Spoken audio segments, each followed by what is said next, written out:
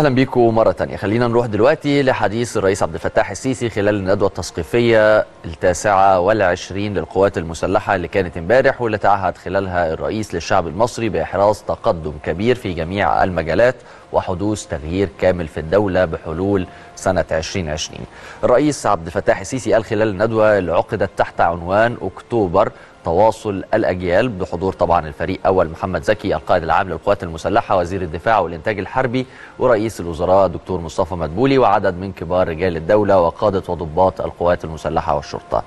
الرئيس قال جمله كانت منتشرة جدا على ال social media ومنتشرة في جميع الأخبار والبرامج هي حواليكم دولة تانية خالص في 30 يونيو من العام 2020 يعني إحنا بنتكلم في خلال سنتين من النهارده. تعالوا نشوف ونرجع مرة تانية مع حضراتكم. الحكاية حكاية كبيرة جدا. لن تت... مش هتتحل إلا بإرادة المصريين والعمل والعمل والعمل والصبر. غير كده يبقى إحنا بنضحك عليكم وبنقول لكم كلام آه، هتقول الله ما انت قلت لنا 30 26 أيوه 30 26 هوريكم بفضل الله. بفضل الله دولة تانية دولة تانية الرئيس عبد الفتاح السيسي اتكلم كمان عن إن مصر لم تفقد الإرادة بعد هزيمة 67 بعد النكسة وتم العمل بكل قوة على إعادة بناء القوات المسلحة مرة تانية واللي خلقت منها تفاصيل نصر أكتوبر العظيم ومهمة القوات المسلحة في حرب أكتوبر. خلينا نشوف جزء من كلام الرئيس ونرجع لحضراتكم مرة تانية. الجيش في مصر والقرار بتاع الحرب والنتائج اللي تحققت عليه هي معجزة بكل المعايير وبكل الحسابات. كل المعايير وبكل الحسابات. إن الجيش المصري بكل التحديات اللي إحنا بنتكلم عليها دي ورغم شبح الهزيمة والتجربة المريرة بتاعت 67 ياخد القرار ويخش ويقاتل ويصمد ويحقق أكبر هزيمة. وبالمناسبة لا يمكن أبدا لا يمكن أبدا كان حد هيديكوا الأرض إلا بعد ما داء تمن الحرب الحقيقية. تمن الحرب الحقيقية. في الوقت ده في الوقت ده كان الخسائر كتير. وكانت دي أحد أهم الأسباب وأنا بقولها دلوقتي بعد خمسين سنة وأكتر أحد أهم الأسباب اللي دفعت إسرائيل. إنها توافق على السلام. أسر الضحايا ال- سواء كانوا سقطوا قتلى أو مصابين. كانوا بالالافات وبالتالي ده كان بالنسبة لهم أمر غير مستعد مش غير مستعدين لتكراره مرة تانية.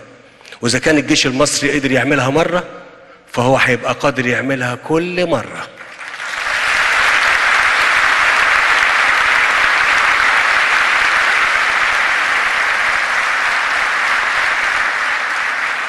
يبقى القرار الاستراتيجي إيه؟ هما القرار الاستراتيجي ان إحنا نعمل سلام مع مصر. نعمل سلام مع مصر ونديها أرضها ويبقى النهارده الباب ده قفلناه والخسائر دي مش هتتكرر تاني. كمان شدد الرئيس عبد الفتاح السيسي على أن المعركة لم تنتهي بعد بل ما تل بل ما تزال موجودة بمفردات مختلفة لأن الحالة الأولى كان العدو الخصم فيها واضح وباين قدام عينينا محتل للأرض.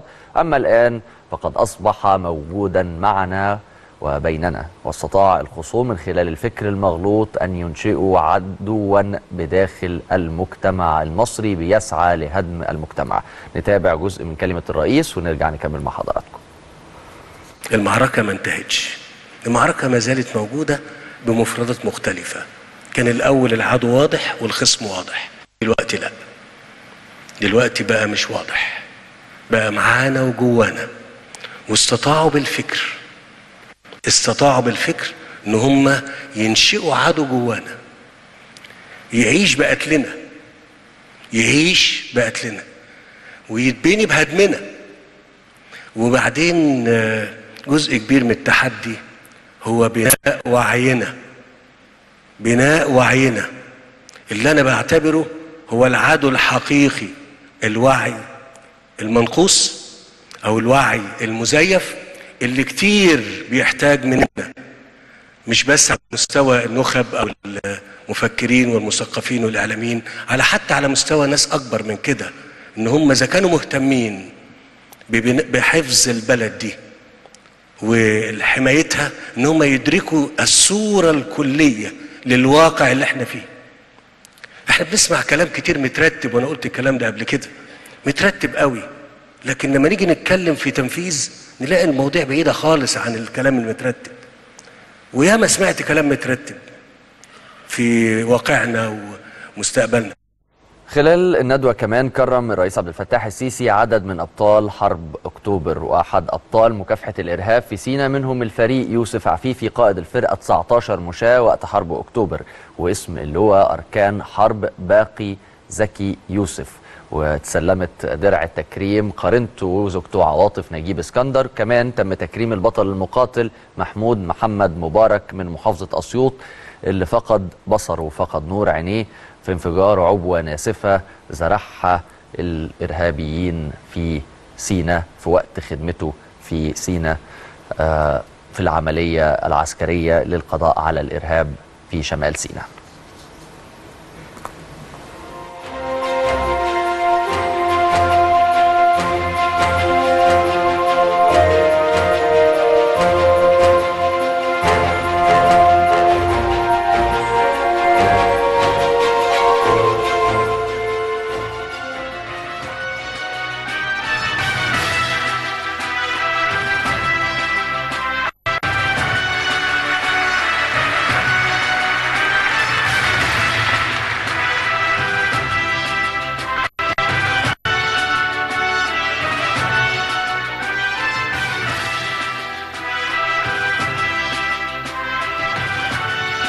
اسم اللواء أركان حرب باقي زكي يوسف وتتسلم التكريم قرينته السيدة عواطف نجيب اسكندر.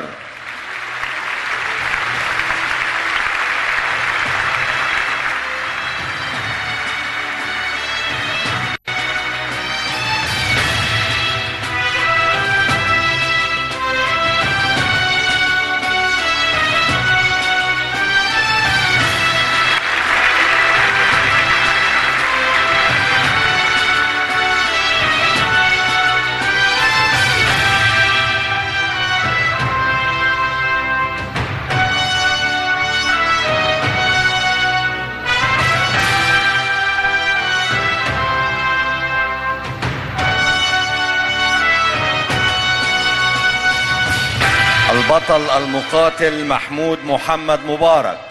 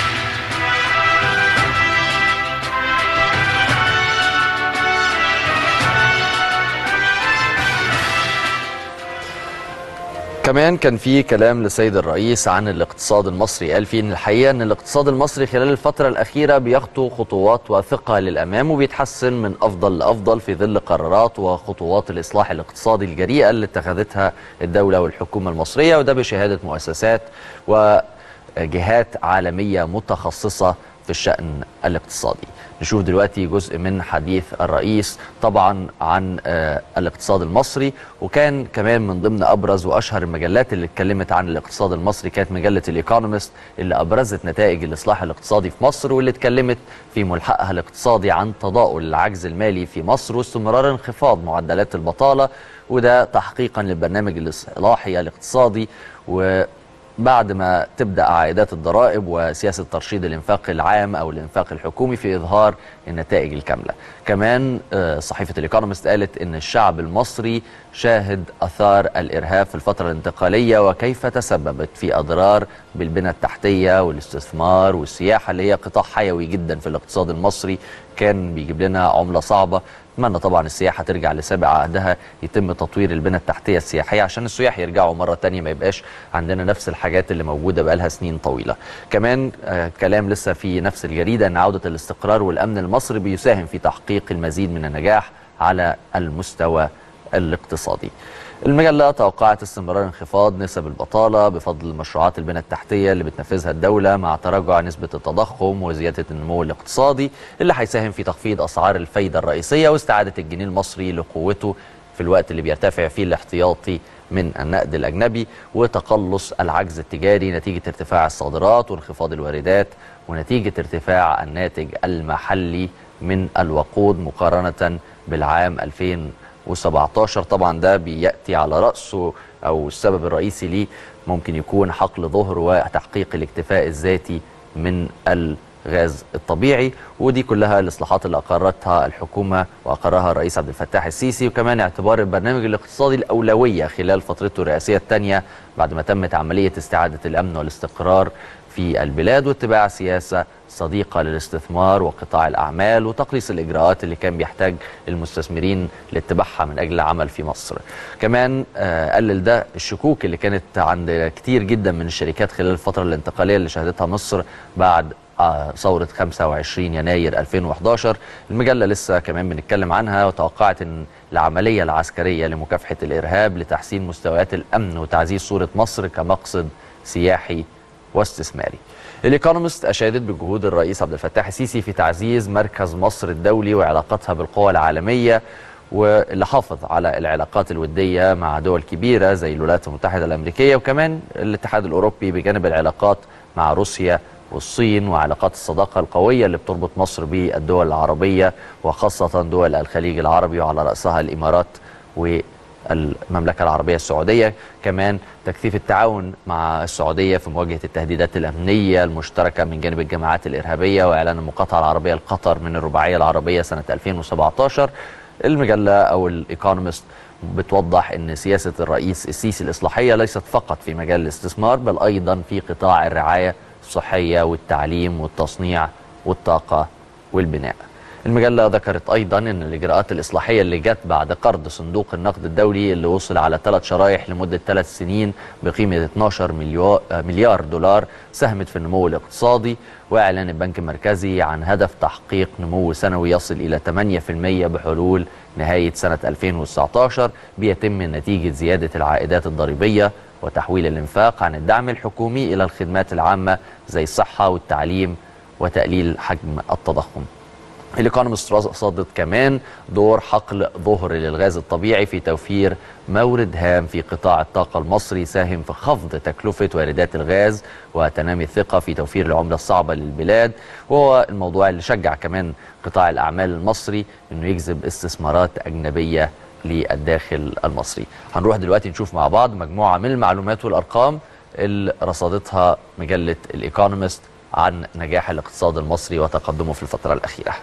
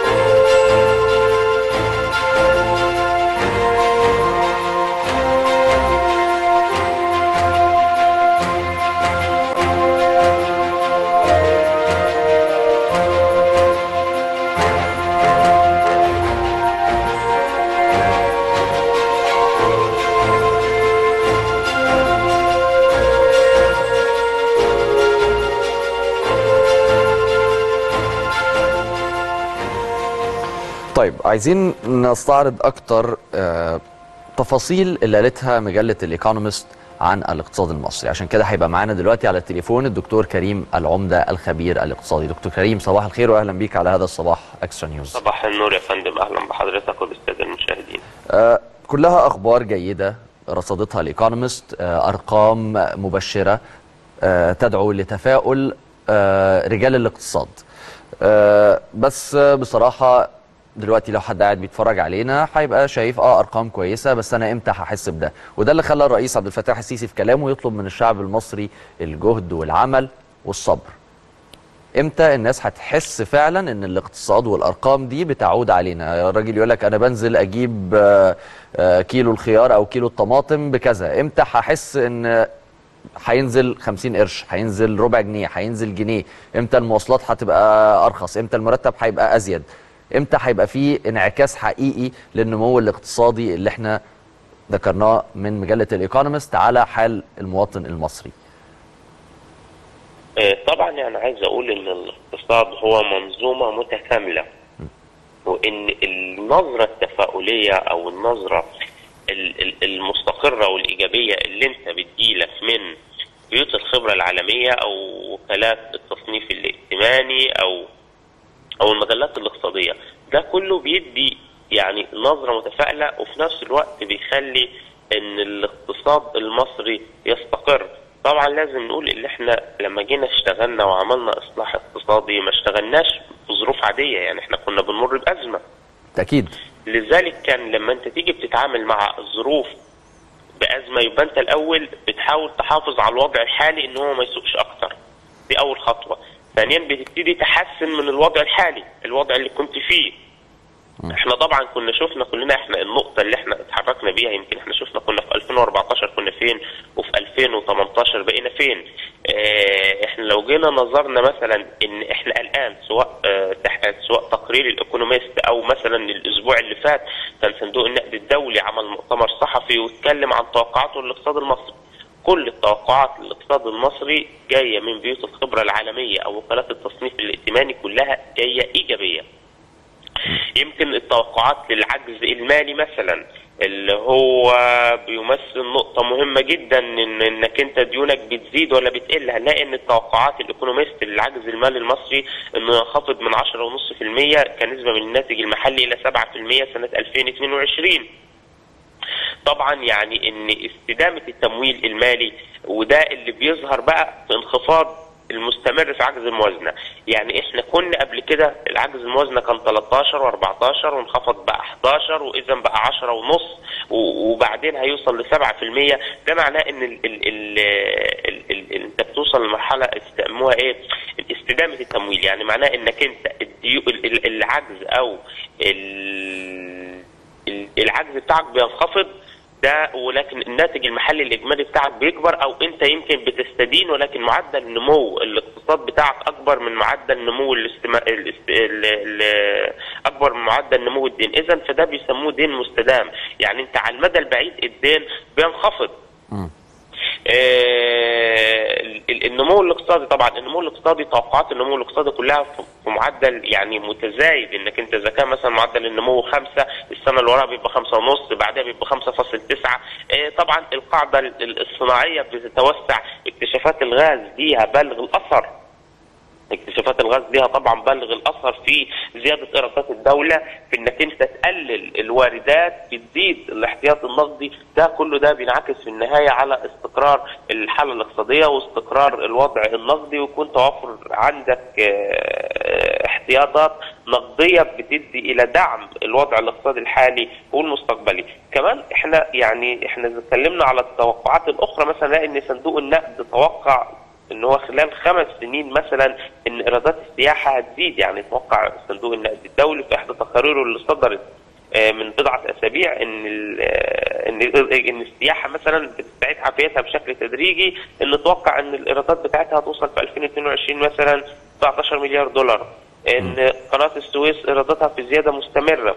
إن الاستثمار بدل ما هو كبدل إن هو يبقى في 2018 9 مليار إن هو هيبقى 17 مليار. تحويلات المصريين في الخارج بتوقع إن هي في 2022 هتبقى 32 مليار.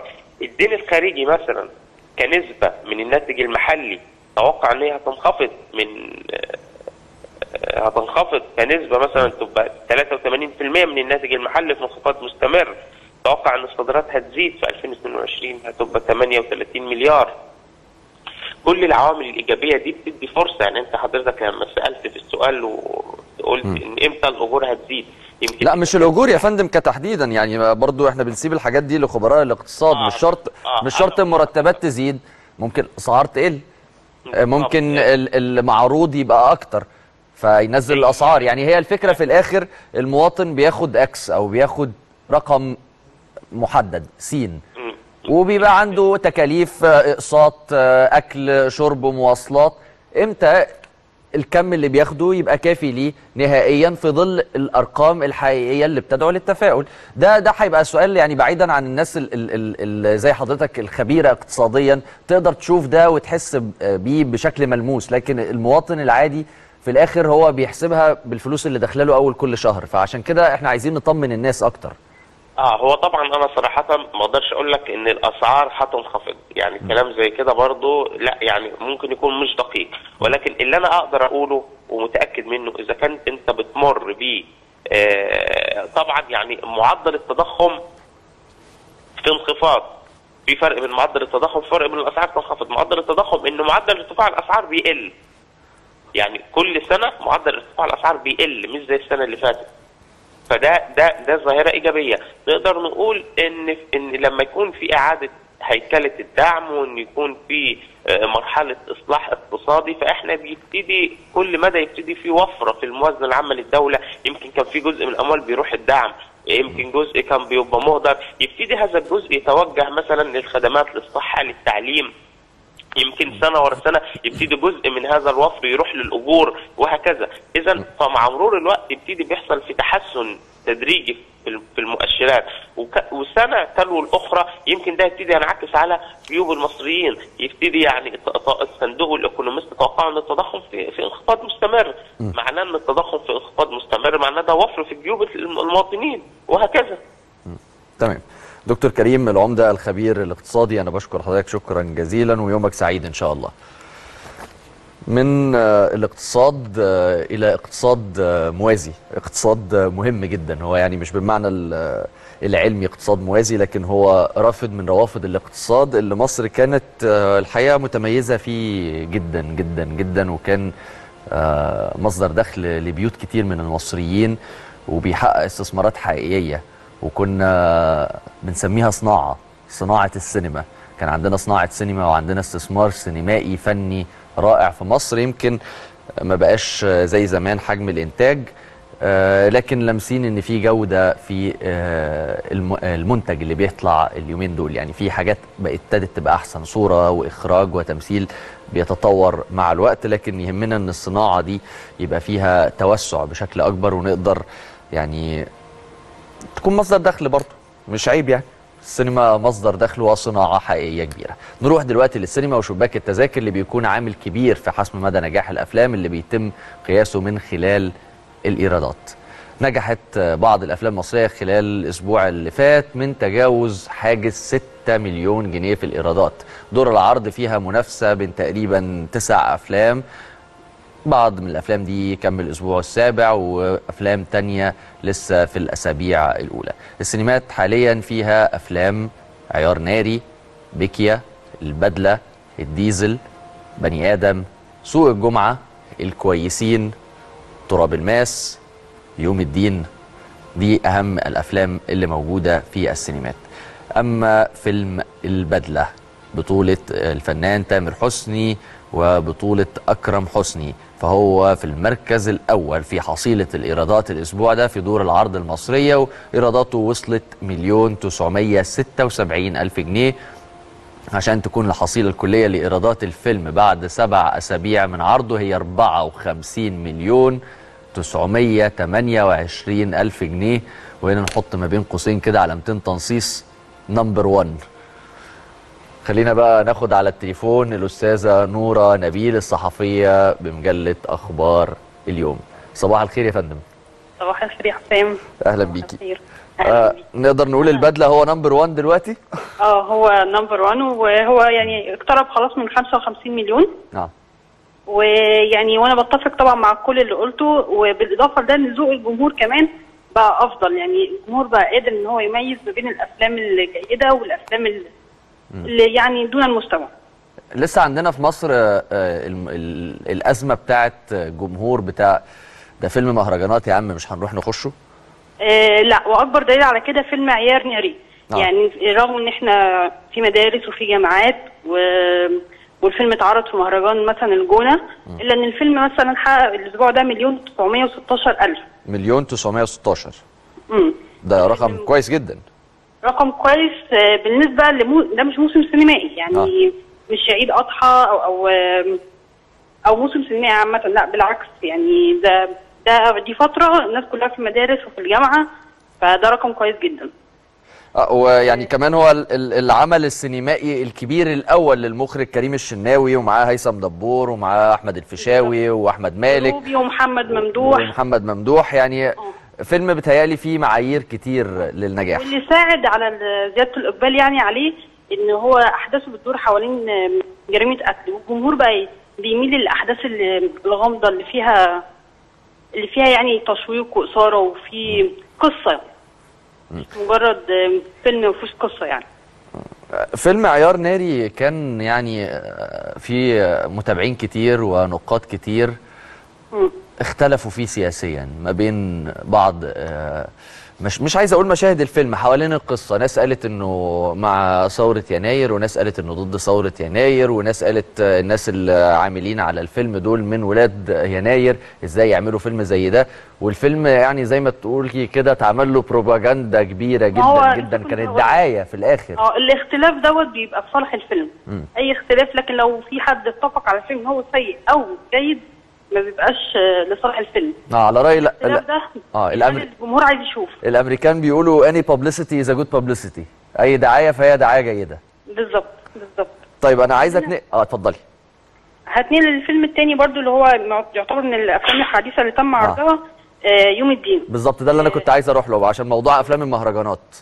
تمام ده بيمثل مصر في ترشيحات الأوسكار تم بالظبط. عرضه في أكتر من مهرجان وهيتم عرضه في مهرجانات تانية. ورغم كده آه، في اهتمام كبير بيه هو آه، حقق لغاية دلوقتي 852 ألف في الأسبوع الثاني من عرضه. وده رقم كويس برضو في ظل بدء المدارس والجامعات في ظل إن هو معروض في دور عرض قليلة مش كتير. بس في أيوة بز- بقصته أي ب... بس دي دي نقدر نشوفها مشكلة إنه نازل في دور عرض قليلة أو ناسخ نازل بنسخ عرض أقل وموجود في سينمات معينة والسينمات اللي موجود فيها مواعيد حفلات معينة مش موجودة يعني إيه السبب ورا ده؟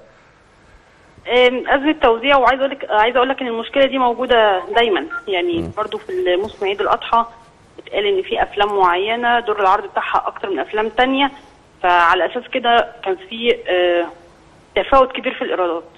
ده بسبب إن السينمات مثلا أو المعلنين أو المنتجين شايفين إن ده آه. ممكن يكون فيلم من أفلام الم- المهرجانات أو اللي آه بيتسموا فمش هيبقى عليه إقبال كبير بيبقى ليهم وجهات نظر. آه. يعني هو في وقت من الأوقات كان بيتقال على أفلام يوسف شاهين إنها أفلام مهرجانات. آه إن الفيلم يحقق 852 ألف في موسم مش موسم سينما فده آه يعني آه يعني إحنا بنتكلم عيار ناري عمل مليون 916 16 مم. آه، في في نفس الأسبوع اللي يوم الدين حقق فيه 852 برغم إن يوم الدين عدد آه، نسخه أقل. ومترشح ومترشح طبعا إنه ينافس في آه، أحسن فيلم أجنبي في الأوسكار. وبنتكلم كمان إن عيار ناري عنده المعايير الجماهيرية شوية للنجاح عنده ممثلين ليهم أسامي. يوم الدين أبطاله آه، يعني مش مش معروفين للناس. بالظبط لكن آه، يوم الدين يعني يوم الدين فعلا آه، ابطاله مش معروفين أو آه، تجارب جديده بالنسبة لهم رامي راضي جمال أحمد. عبد الحافظ إخراج أبو بكر شوقي برضو. آه، كل دي لسه أول تجارب. بالظبط بالظبط. أبو بكر شوقي حاول كتير في أفلام قبل كده وده أول فيلم يلاقي صدى من الناس. بتاعه مع زوجته طبعا. آه. عشان نبقى مدين دي- لكل حد. آه عايز بقى أروح ل افلام عيد الأضحى؟ لا يعني نقطة اللي إحنا كنا بنقولها مش عارف بقى نقول number 1 ولا هو number كام دلوقتي؟ هو number 1 تامر حسني number 1 لا مش تامر حسني محمد رمضان رقم كام دلوقتي؟ آه الأسبوع دوت هو رقم أربعة. عمل 308 ألف. 308 ألف. ده رقم قليل جدا. آه رقم قليل مقارنة بفيلم البدلة اللي عمل مليون 976 ألف. يعني إحنا بنتكلم في فرق مليون و600 ألف جنيه في أسبوع. بالظبط بالظبط. طب إيه إيه سبب تراجع إيرادات آه، آه، فيلم الديزل؟ هو يعني هو الديزل أصلا رقم ثلاثة من أول من أول الموسم. آه البدلة يعني لسه الجمهور في إقبال كبير عليه. آه وبرده آه فكرة دور العرض. لما الموزعين بيشوفوا إن في فيلم عليه إقبال بيبتدوا يدوا يدوا أهمية ومساحة أكبر. لكن لما بيبقى في تراجع عن فيلم دور العرض بتقل وده اللي حصل مع ديزل. طيب. هو حقق 308 ألف آه، يبقى الإجمالي 22 مليون. يعني إحنا إحنا ما الإجمالي 22 مليون. مم. يعني لكن فرق ما بينه وما بين الأول آه، تقريبا 38 مليون جنيه. بالظبط بالظبط. طيب هو يعني ما نقدرش نقول برضو إن فيلم ال- الديزل ما نجحش. هو نجح بس ما حققش النجاح اللي كان منتظره محمد رمضان ولا نقدر نحطه number في 1 مش نمبر 1 يعني ما نقدرش نحطه في أفلام محمد رمضان لأن نجحت آه آه، ما نقدرش. طب إيه بالنسبة س- للإيرادات. آه إيه إيه السبب ورا عدم النجاح ده؟ خصوصا إنها نفس التوليفة اللي محمد رمضان بينجح بيها دايما في الأعياد. يعني السبب ان تامر حسني عنده آه، شعبية كبيرة كان معاه أكرم حسني فأكرم حسني برضو آه، عنده جماهيرية. بعد آه، مسلسله في رمضان طبعا الوصية. القصة آه بالظبط آه، فوجود بقى منافسين. تراب الماس آه، أعلى من من الديزل. تراب الماس بقى نازل بعد ديزل بشوية. آه، لا آه، تراب الماس نزل نزلوا نزلوا قبله بأسبوع عفوا قبليه قبليه بأسبوع في بالظبط. في نفس الموسم في نفس موسم العيد. الأسبوع ده هو محقق تراب الماس 783 ألف. 733 طب عظيم والله رقم كويس جدا. فبرضه هو أعلى من الديزل هي الناس بتروح آه، تراب الماس عشان خاطر الممثلين ولا عشان مروان حامد؟ وعشان الروايه كمان. وعشان رواية أحمد مراد طبعا. بس يعني هو يعني لأول مرة من فترة الناس ترجع تقول أنا هروح الفيلم بتاع المخرج الفلاني. يعني كنا بنشوف صحيح. نقول زمان هروح فيلم يوسف شاهين هروح فيلم شريف عرفة آه، هروح فيلم زمان طبعا الأستاذ صلاح أبو سيف هروح فيلم الأستاذ داوود عبد السيد. مخرجين ليهم أسامي. مروان آه، آه، حامد قدر يرجع مرة تانية. بالفكرة دي؟ وإيه سبب رجوعه بيها؟ أو إيه إيه سبب نجاحه في إنه يرجع الفكرة دي؟ ده صحيح. آه، الأعمال السابقة آه، برضو رواية تراب الماس آه، يعني كافية إن هي تشد الجمهور إن هم يشوفوا فيلم. يعني زي مثلا الفيل الأزرق. رواية الفيل الأزرق خلت الناس حابة تشوف الفيلم. مم. فهم كانوا يعني ده ده السبب الرئيسي من وجهة نظري. وإجمالي إيرادات الفيلم لغاية دلوقتي 31 مليون ونص نص مليون. بمناسبة الفيل الأزرق في فعلا آه، جزء تاني من الفيل الأزرق؟ آه، حتى الآن لا. لسه يعني كلام كله على ال social media نحطها تحت آه. بند الإشاعات. آه آه آه. تمام أنا بشكرك. شكرا جزيلا نورة نبيل صحفية بأخبار النجوم. شكرا جزيلا ليكي. إحنا بقى بدورنا هنا. نزلنا سألنا الشارع المصري عن رأيه في فيلم عيار ناري وفيلم يوم الدين باعتبارهم أجدد الأفلام المصرية اللي نزلت في السينمات. خلينا نشوف آراء الناس ونرجع لكم مرة تانية.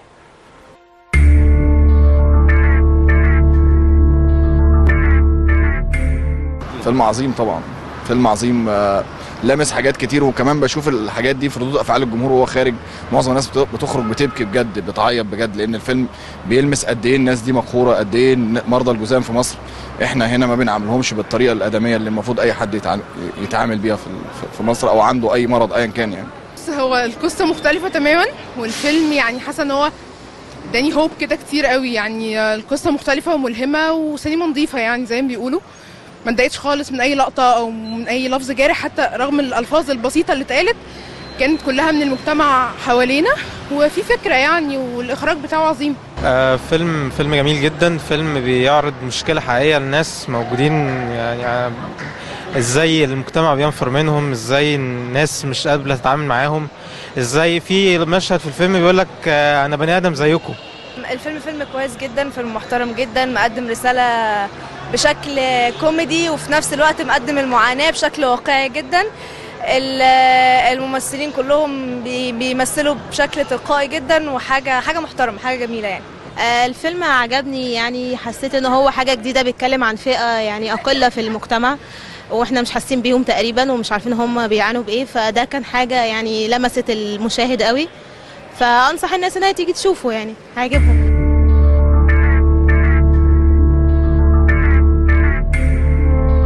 فيلم عيار ناري آه، بصراحة فيلم آه، كويس جدا آه، فيلم قدر إن هو ينجح بطريقة كبيرة.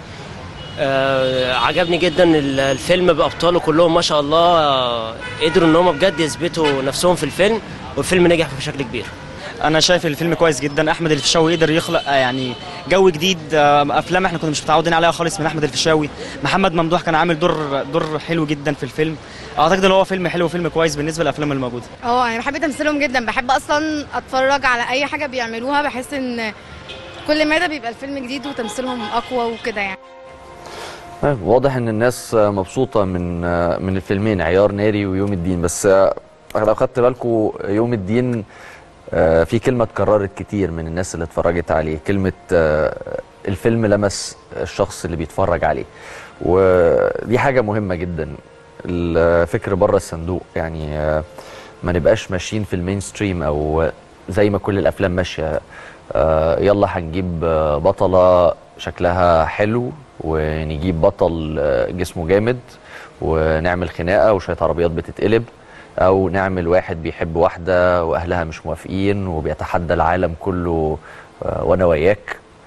آه، وفي الآخر آه، بيقابل مشكلة كبيرة جدا وبيتغلب على الصعاب ويوصل لها. يعني الموتيفات كده التابو بتاع الأفلام اللي للأسف كانت ماشية في السوق المصري كتير. بتهيألي فيلم زي عيار ناري وفيلم زي يوم الدين وتحت يوم الدين ده مليون خط. لما بنفكر بره الصندوق بننجح. آه، يوم الدين مرشح إنه ينافس على أوسكار أحسن فيلم أجنبي. مش معنى ده إنه هيكون في الشورت ليست أو في مجموعة الأفلام الأخرانية اللي موجودة. يعني ممكن ما يسمعش اسمه على ال- ال stage أو على المسرح في الدولبي ثياتر المكان اللي بيتعمل فيه الأوسكار في آه، لوس انجلوس في أمريكا. لكن الفيلم مرشح. آه، الفيلم اتعرض في مهرجانات. فيلم خرج آه، بدون ممثلين معروفين. آه، فيلم بيتكلم عن قضية محدش تطرق ليها قبل كده. كان كبرنا بن بنسمع عن الجذام في بوست على ال social media وعلى الفيسبوك تحديدا عن مستعمرة الجذام وقد إيه إن فيها بعض الحالات الإنسانية اللي محتاجة رعاية ومتابعة.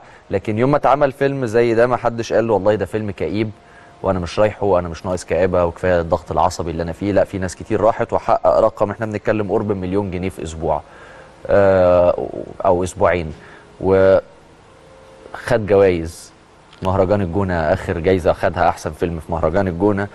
آه، مخرج ممكن ما يكونش معروف على الساحة الفنية بالنسبة لناس كتير لكن في الآخر فيلم بره الصندوق فيلم حقق آه، سينما حقيقية.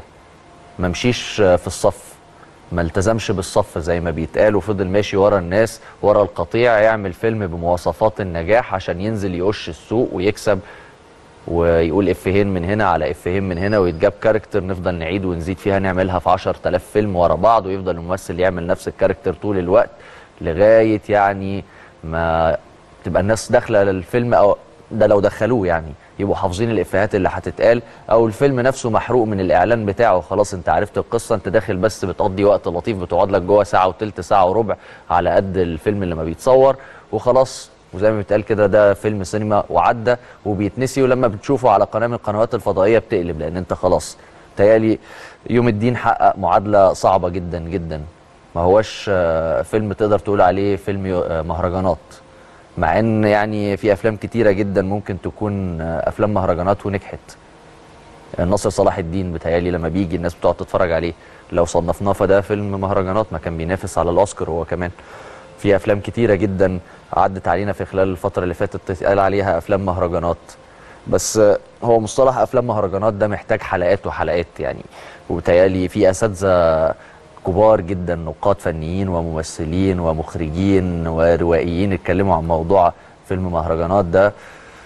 بس في الآخر مفيش عيب إن يكون في إنتاج فني للأفلام اللي ماشية مين ستريم زي ما قلنا القصص بتاعت أحمد ومنى ونجري نقابل بعض على الشجرة ونحفر القلب أو البطل اللي بيضرب الناس كلها وبيكسر الفل بإيديه ويكسر قلل و... تمام. لطيف وموجود وموجود في أحسن سينما في العالم في هوليوود في أمريكا فيها كل الأفلام دي. بس هي نسبة وتناسب. قد إيه بتنتج أفلام حقيقية من مجمل الأفلام اللي بتنتج كل عام؟ أتمنى يكون يعني عندنا إنتاج فني رائع لأن إحنا يعني إحنا قدام في السينما يا جماعة وحرام الوضع اللي إحنا وصلنا له. الواحد بيحزن يعني إنه في آخر السنة يبقى شايف إن في آخر السنة إحنا طلعنا بثلاث أربع أفلام الواحد يقدر يقول عليهم أفلام سينما حقيقية. عندنا صناعة حقيقية وعندنا ناس شاطرة مخرجين وممثلين وكتاب وصناع ومصورين ومدير إضاءة وفنيين وعندنا كل حاجة تخلينا نعمل سينما حقيقية. أتمنى يعني. بعد الفاصل هيكون معانا في استوديو هذا الصباح الناقد الرياضي وصناعة أخرى يعني محتاجة برضو إنها تشد حيلها شويتين ثلاثة في مصر. الناقد الرياضي بجريدة الأهرام وليد الحديد اللي هيكون لينا معاه قراءة في نتائج كاس مصر وكمان طبعا استعداد منتخب مصر لمباراته النهاردة المهمة لأنها المباراة الثانية لخفيار أجاري. نستنونا بعد الفاصل.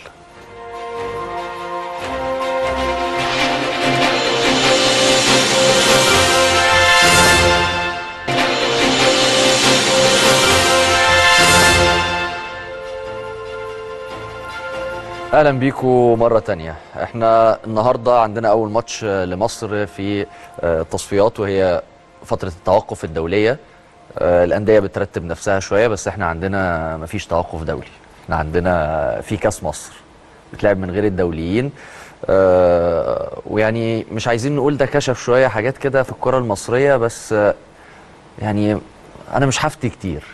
في ناس بتاعت رياضة هتبقى هي أقدر مني إنها تتكلم عن الموضوع ده وهنتكلم على كاس مصر بقى ودور ال 32 الأهلي هيلاعب بيراميدز كان بيلاعب الترسانة الزمالك كان بيلاعب منية سمنود. التفاصيل المهمة الصغيرة دي اللي إحنا دايما بنبقى نقعد نقطع بعض على ال social media عليها. فضيفنا بقى في الاستوديو الناقد الرياضي بالأهرام الأستاذ وليد الحديدي صباح الخير. صباح الخير يا أستاذ حسام وتحية لكل مشاهدي إكسترا نيوز.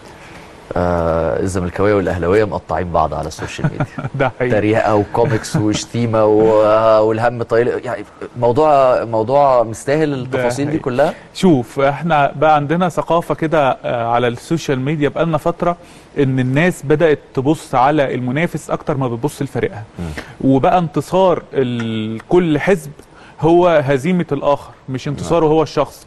والحقيقة دي ال ال الثقافة دي رايحة بينا المنطقة ملهاش علاقة بالكورة وملهاش علاقة بالرياضة. يعني هي الرياضة مفهوم الرياضة ال- اللي لازم كلنا نفهمه. أمال إحنا بنتابع كره عالمية ليه؟ وبنعجب قوي وبنفضل بقى نعمل شير على الفيسبوك لل... للكورة بره وال... وال... والمشاعر الجميلة والناس اللي بتخسر الناس بتسقف لها و... والتعامل باحترام والتعامل وتقدير آه، آه، كل في كل فعل جيد بيتم تقديره بيتم الاحتفاء بيه وإحنا نفسنا كمصريين لما بيحصل حاجة كويسة بره بنفضل نقول يا جماعة ما تبصوا بره ما تبصوا اشمعنى إحنا ما بيحصلش معانا كده شوفوا بره بس بيعملوا بره إيه. ما بيتريقوش على بعض يعني ريال مدريد وبرشلونة مثلا ما بيتريقوش على بعض يعني أنا. أنا أنا أنا بحب الدوري الإنجليزي جدا أنا عارف كويس قوي مانشستر يونايتد وليفربول مثلا قبل ماتش الديربي ده وده واحد يعني من أسخن الدربيات في العالم. الجمهور بيقطع بعضه شتيمة يعني ولا مصريين بقى ولا حقيقي. حاجة يعني. ده حقيقي. ده حقيقي وموجود في كل العالم. لكن بس إحنا عندنا الموضوع في لا. في سنة كده غريبة. إيه هو بره ده الاستثناء مش القاعدة يعني ده آه. آه. ده ال extremities أو يعني ده ما بعيدا عن الروح آه. آه ده ده بعيدا عن أصل الموضوع لكن يبقى أصل الموضوع إنك بتروح آه، آه، أولد ترافورد أو بتروح أنفيلد في ملعب ليفربول بتلاقي تلتزم. الجماهير كلها بتشجع فريقها بجنون. و... وبتقدر حتى لو فريقها خسر بتقدر المجهود اللي بذله اللعيبه ولو في أي مشكلة في الفريق بتلاقي الجماهير دايما لسه support شايفين اللي عمله آه، مورينيو مع آه، مانشستر. الجمهور بقى بيسقف له. يعني في هي آه في نص. الماتش قالوا له امشي وبتاع شوية والطيارة اللي رفعت قالت له إيه دودرز امشي بس في آخر الماتش بيسقفوا للفرقة وهي خسرانة. ما هي دي ثقافة. ده لازم يكون ده موجود في الكورة طبعا فكرة آه، ما هي المنافسة لازم تخلق ده. يعني المنافسة لازم تخلق إن أنا أحب أ- أبقى أحسن منك لو أنت المنافس بتاعي وإن أنا أبين تميزي عنك. لكن ما, يبقاش ده أصل الموضوع. يعني ما ما جماهير الأهلي ما تسيبش كل حاجة في في, في النادي الأهلي وتفكر بس إن هي تغيظ جماهير الزمالك وتعمل حفلة زي ما بيقولوا على جماهير الزمالك والعكس جماهير الزمالك ناسية خالص نادي الزمالك وكل همها إن الأهلي يخسر أو تعمل كوميكس أو تريقة على النادي وده الأهلي. سببه إيه؟ يعني في الأول كنا بنقول ضعف المنافسة. هل المنظومة الكروية في مصر محتاجة يعني مضروبة في مقتل زي ما بيتقال؟ هو طبعا إحنا عندنا مشاكل في أصل المنظومة. يعني أساس المنظومة الكروية طبعا في مشاكل. أنا شايف إن أهم دور وأهم متهم وهو هي الميديا. الميديا سواء مكتوبة سواء مقروءة سواء مسموعة. وأنا واحد من اللي بيشتغلوا في الميديا وبعترف بده. إن إحنا لازم يكون عندنا سياسة مختلفة في التعامل مع الرياضة هنتكلم عن التخصص اللي أنا طب- طب. آه، يعني بشتغل فيه لازم نفهم الناس ونوصل لهم إن آه، إن إثارة غيرة المنافس أو آه، السخرية من المنافس ليه حدود وليه شكل معين لكن لازم نوصل لهم كمان قيمة الرياضة. يعني لازم كل برنامج رياضي يقدم للناس نماذج وأمثلة ويتكلم في سكة إن إحنا بنتكلم عن رياضة. الرياضة أصلا لا بس عملوها البرامج الرياضية بقت رد حسابات دلوقتي. ما هي دي المشكلة بقى. ما هو دي المشكلة. يعني, يعني رب مع كامل احترامي لكل زمايلنا طبعا وأساتذتنا بس حتى الضيوف اللي بيبقوا موجودين يعني بي بيسيب السؤال اللي بي بي بيسألوه له ال- ال- المذيع. أو صاحب البرنامج وبيجاوب في حتة تانية إن هو يا فلان الفلاني فاكر لما ده أنا هعمل ده أنا هسوي ولما الم... كأنها تصفيه حسابات طول الوقت خناقة. هو إحنا ليه بنتكلم أصلا عن جماهير ال- ال- العادية واللي مرتدي السوشيال ميديا وناسين ناسين إن المذيع هو نفسه بيطلع على الشاشة بيفضل يغيظ وبيفضل ي... ي... يعني يتكلم بطريقة أقل حتى من الجمهور العادي. يعني أنا بشوف مذيعين المفروض إن هم بيقودوا رأي عام والناس مش قادرة تفهم إن الرياضة دي زي ما أنت حضرتك كنت بتتكلم إن هي صناعة واستثمار ومصدر في اقتصاديات دول كاملة قايمة على الرياضة يا جماعة. ده ده البرازيل يعني اللي بنضرب بيها المثل دايما اقتصادها كامل اللعيبة اللي بتطلع عندها 17 آه و16 الرياضة. و15 نفس سنة. الشيء الأرجنتين نفس الشيء. روسيا. روسيا عشان نظمت حدث عالمي كسبت سياسيا وكسبت اقتصاديا وكسبت دعائيا وكسبت على كل المستويات. عرفوا يستغلوا هذا يعني الحدث؟ واحد مصري سافر روسيا؟ ولا كان في دماغهم أصلا إن هم يروحوا بلد زي روسيا دي خالص ده. تمام في أولمبياد ولا في في كأس عالم آسف والناس مسافرة فيلا تعالى نروح. ومصر موجودة وعايز بتلعب لك وتعالى نتفرج يعني وفلوس داخلة للبلد بالظبط يعني وروسيا لعبتها صح جدا كل ماتش في حتة بقى شكل. وتركب طيارة ولف بالظبط. وت... بالظبط هم عرفوا يستغلوا يعني كنت هناك مثلا كل استاد روسي من استادات كأس العالم لازم تلاقيه جنب مكان سياحي أو لا لازم تلاقيه جنب مزار تاريخي. لازم هو يشدك لتاريخه اللي يشدك. لثقافته. طبعا. أنا واحد لو اتيحت ليا نص فرصة عشان أسافر روسيا تاني كسائح هسافر. لأني لقيت ال- ال- اللي أنا عايزه كشخص لقيت اولا روح حلوة وتعامل جيد من الناس و... وما عندهمش أي مشاكل يعني إحنا كان يمكن البروباجندا العالمية كانت مدية عن روسيا انطباع إن هم ناس عنيفة وناس طف أو آه، معدل الجريمة هناك من آه. المافيا الروسية بس ما بنشوفش غيرهم وشايلين مسدسات طول الوقت وبتاع. لكن طبعا الشعب الروسي مثقف جدا جدا وقدروا ينقلوا لك ده. يعني قدروا ي- ينقلوا لك هذه الثقافة ويجذبوك يخلوك تحب البلد. آه، إحنا محتاجين نعمل يعني محتاجين نخلي الرياضة عامل جذب مش عامل نفور. محتاجين لما يكون عندنا مباراة أنا كجمهور يعني مثلا في فترة آه، جماهير الأهلي قطعت مباراة الأهلي على برج العرب. آه. ليه؟ لأن عندها مشكلة في إن المشوار طويل. عندها مشكلة في طريقة الدخول بتكون صعبة عليهم عندها مشكلة إن إيه التفتيش أحيانا إيه ال- ال network مثلا بالعربي الموبايلات آه، ضايعة في network، الاستاد فما بيعرفش يتواصل مع آه. أهله ما بيعرفش يدخل أكل ما بيعرفش يدخل ال- ال power bank عشان يعرف يشحن يعني ال ال آه، في حاجات صغيرة ممكن تتعمل ببساطة تخلي الناس حابة الرياضة حابة الكورة. إن شاء الله يكون في خطوه يعني إحنا ما كانش الجمهور بيحضر خالص. خدوا خطوة إن في جزء آه، بيحضر. حضور الجمهور يعني طبعا دي كلها إجراءات وقرارات أمنية. بس كان في آه، بعد حادثة استاد بورسعيد في شوية لجان كده من اتحاد الكورة ووزارة الشباب والرياضة وحطوا تسع معايير لعودة الجماهير. الكاميرات تبقى محطوطة في الأماكن الفلانية والدخول والخروج. وهتتنفذ وهتتعمل ما مفيش حاجة من دي اتطبقت طبعا. خالص. خالص خالص. يمكن هي ال... ودي كانت موجودة أصلا من زمان فيها اللي هي الملاعب الخاصة بالقوات المسلحة زي ملعب مثلا برج العرب أو الدفاع الجوي أو غيره. هي اوريدي ال... الاستادات كانت مجهزة بالشكل ده من غير حتى قرارات نيابة عامة ومن غير اللجان ومن غير أي حاجة. يمكن استاد القاهرة تم إدخال بعض التعديلات عليه خاصة بهذا الموضوع لكن بقية الاستادات مع إن دي يعني إحنا بقى عندنا دلوقتي سبونسرز ورعاة في, في, في مجال كرة القدم. وسهل جدا ان انت آه، كوزارة بقى شباب والرياضه لأن ده هيبقى موضوع اعلى شوية من اتحاد الكورة.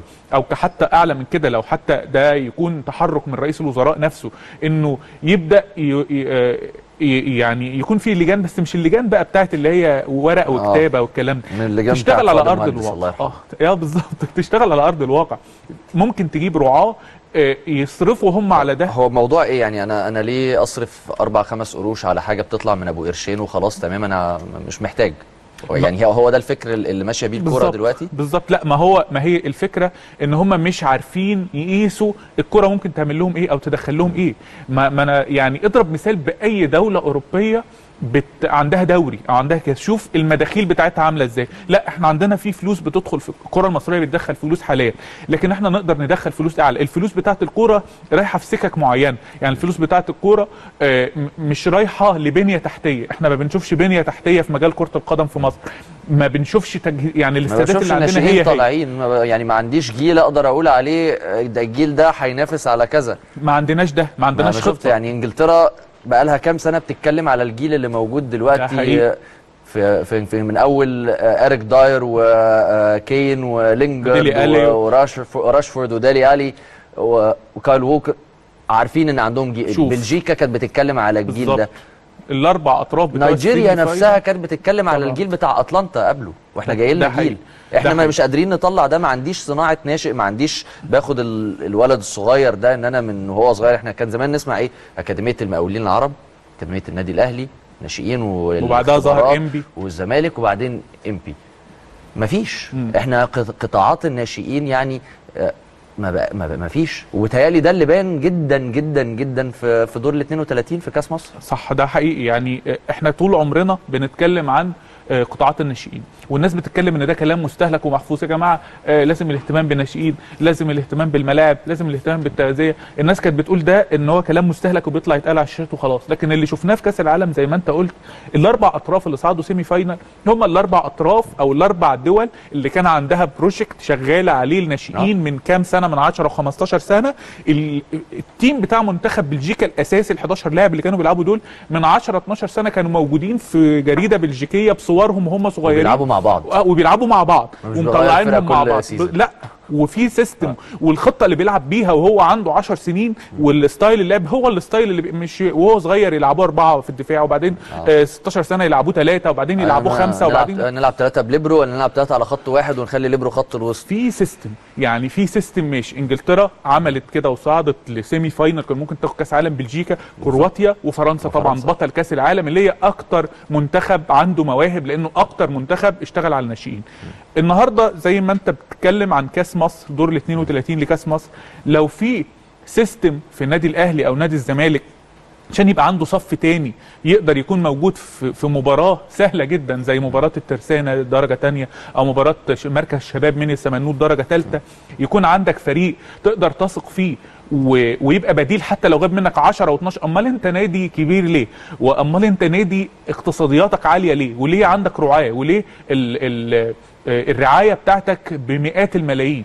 يعني علشان تعمل ده. ع- أنا عايز يعني إيه ع- نعمل حاجة كده مش عارف تيجي معايا ولا لأ فيها آه، هنزعل مننا الأهلاوية والزملكاويه إحنا عايزين نحسب مثلا كام واحد من النادي الأهلي أساسي لعب ماتش الترسانة. آه، يعني خلينا نفتكر كده مثلا علي لطفي جاي من بره. علي لطفي كان جاي من امبي تقريبا؟ آه من امبي وكان بيقف أساسي. آه ب... آه بالظبط. كان أساسي كان وجه منتخب النادي الأهلي. كان رابع. كان آه ثالث أو رابع. آه، أحمد عادل يمكن أحمد عادل مشي آه. وشريف إكرامي آه شريف والشناوي والشناوي. تمام.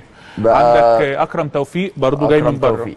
بس إحنا بنتكلم يعني أنا بتكلم على اللي كانوا بيلعبوا مع مع كارتيرون في في الفترة أنت اللي بتتكلم. على الأساسيين مش مش آه. مش آخر تشكيلة مش يعني. آخر تشكيلة يعني أحمد فتحي مش من أبناء النادي الأهلي أحمد فتحي back اليمين الشناوي هو اللي من أبناء النادي الأهلي الشناوي خرج ورجع لو هنتكلم عن تشكيل أساسي بقى محمد الشناوي أبناء النادي الأهلي أحمد فتحي جه للنادي الأهلي نجم آه مع إنه كان صغير آه. السن بس برضه جاي يعني كان آه. عنده مستوى من النجومية آه أيمن أشرف لو هنتكلم في قلب الدفاع من أبناء النادي الأهلي آه سعد سمير نادي أهلي ساليف كوليبالي طبعا لاعب محترف آه. آه بنتكلم عن ال back الشمال علي معلول علي الأساسي. آه محترف تونسي آه البديل بتاعه صبري رحيل جاي من نادي الزمالك مش من أبناء النادي الأهلي آه خط الوسط حسام عاشور آه. أهلي طبعا عمرو السولية جاي من الإسماعيلي. لو بتتكلم عن الخ- هشام محمد من أبناء النادي الأهلي اللي هو آه، البديل خرج. ورجع تاني. تمام لو بتتكلم عن الخط الأمامي مؤمن زكريا آه هو مش من الأساسيين بس هو من أبناء النادي الأهلي خرج خرج ورجع ورجع. آه عندك آه مثلا وليد سليمان جاي برضو من آه، من السويس بره. إم بي بتروجيت. بالظبط بالظبط. آه، أحمد حمودي مش من أبناء النادي الأهلي. آه، بتتكلم عن آه، خط هجوم صلاح محسن برضو جاي من إم بي مش من أبناء النادي الأهلي. وليد أزارو مش من أبناء وليد مصر. أزارو آه، مروان. محسن. يعني بتتكلم في بتتكلم في ثلاث أو أربع فين لعيبة بقى ناشئين النادي بنسبة مثلا 30% ولا حاجة نروح للزمالك عشان ما نزعلش 40%. الأهلاوية بس نزعل الزملكاوية كمان بسرعة. نزعل الزملكاوية. آه، جنش مش من أبناء نادي الزمالك. آه، النقاز مش من أبناء نادي. الزمالك. آه، حازم إمام هو اللي من أبناء نادي الزمالك. آه، البديل طبعاً. بتاعه الاثنين بيبدلوا مع بعض. محمود علاء مش من أبناء نادي الزمالك. آه، حمدي الونش مش من أبناء نادي الزمالك. الباك الشمال أبو الفتوح أحيانا بيلعب. أبو الفتوح من أبناء نادي الزمالك من قطاع الناشئين. خط الوسط طارق حامد جاي من بره جاي من من. نادي سموحة. مين تاني بيلعب في خط الوسط؟ فرجاني ساسي جاي من بره. آه بالظبط. البدلاء بتاعهم محمود عبد العزيز من بره ودونجا. من بره. خط الهجوم أوباما من أبناء نادي الزمالك آه، محمد إبراهيم من أبناء نادي الزمالك طبعاً. إبراهيم حسن إسماعيلي آه، مدبولي وأيمن حفني وعنتر كلهم. مش من أبناء نادي الزمالك والمهاجم بيلعب الأساسي كابونجو أو. عمر السعيد برضو مش من أبناء نادي يعني إحنا بنتكلم كل فرقة فيها بالكتير تقريبا اثنين أو ثلاث لعيبة آه يمكن الأهلي أزيد بلاعب بس برضو مش هي النسبة اللي آه اللي نقدر نقول إن الفريق كله واثنين واثنين لثلاثه دول منهم بيبقى في ناس على الدكة مش بالظبط. يعني مش مش موجودين في. السكور بتاع. ال 11 لاعب بالظبط آه، إذا كان آه، يعني آه، آه، النادي الأهلي ونادي الزمالك مش قادرين يعملوا ده فدي مشكلة كبيرة يعني مش قادر تخرج على الأقل 50 60% من تشكيلتك تبقى من أبناء القطاع الناشئين بتاعك وأنت قادر تطلعهم دي مشكلة كبيرة. في ناس بقى تقول لك إحنا في عصر الاحتراف يعني أجيب لعيبة عندي أجيب لعيبة أخلي الناشئين دي تبقى في مفرخة في الأندية الصغيرة هي تطلع لعيبة والفرق الكبيرة تشتري. والله هو ده ده style. بس في ظل ظروف اقتصادية برضو إحنا ما, ما تيجي عندك مشكلة إن النادي الأهلي مثلا في الميركاتو اللي فات ما كانش عنده ال ال الاقتصاديات والفلوس اللي تخليه يعمل. ميركاتو قوي. هو الأهلي كان مثلا محتاج تدعيم في خط الدفاع. هنضرب مثال. جاب كوليبالي. في قلب الدفاع. جاب لاعب واحد اللي هو ساليف كوليبالي وفي وقت متأخر. وفي المقابل جاب مثلا أحمد علاء من الداخلية قبلها وجاب الجزار ده ناشئ برضو من درجة تانية.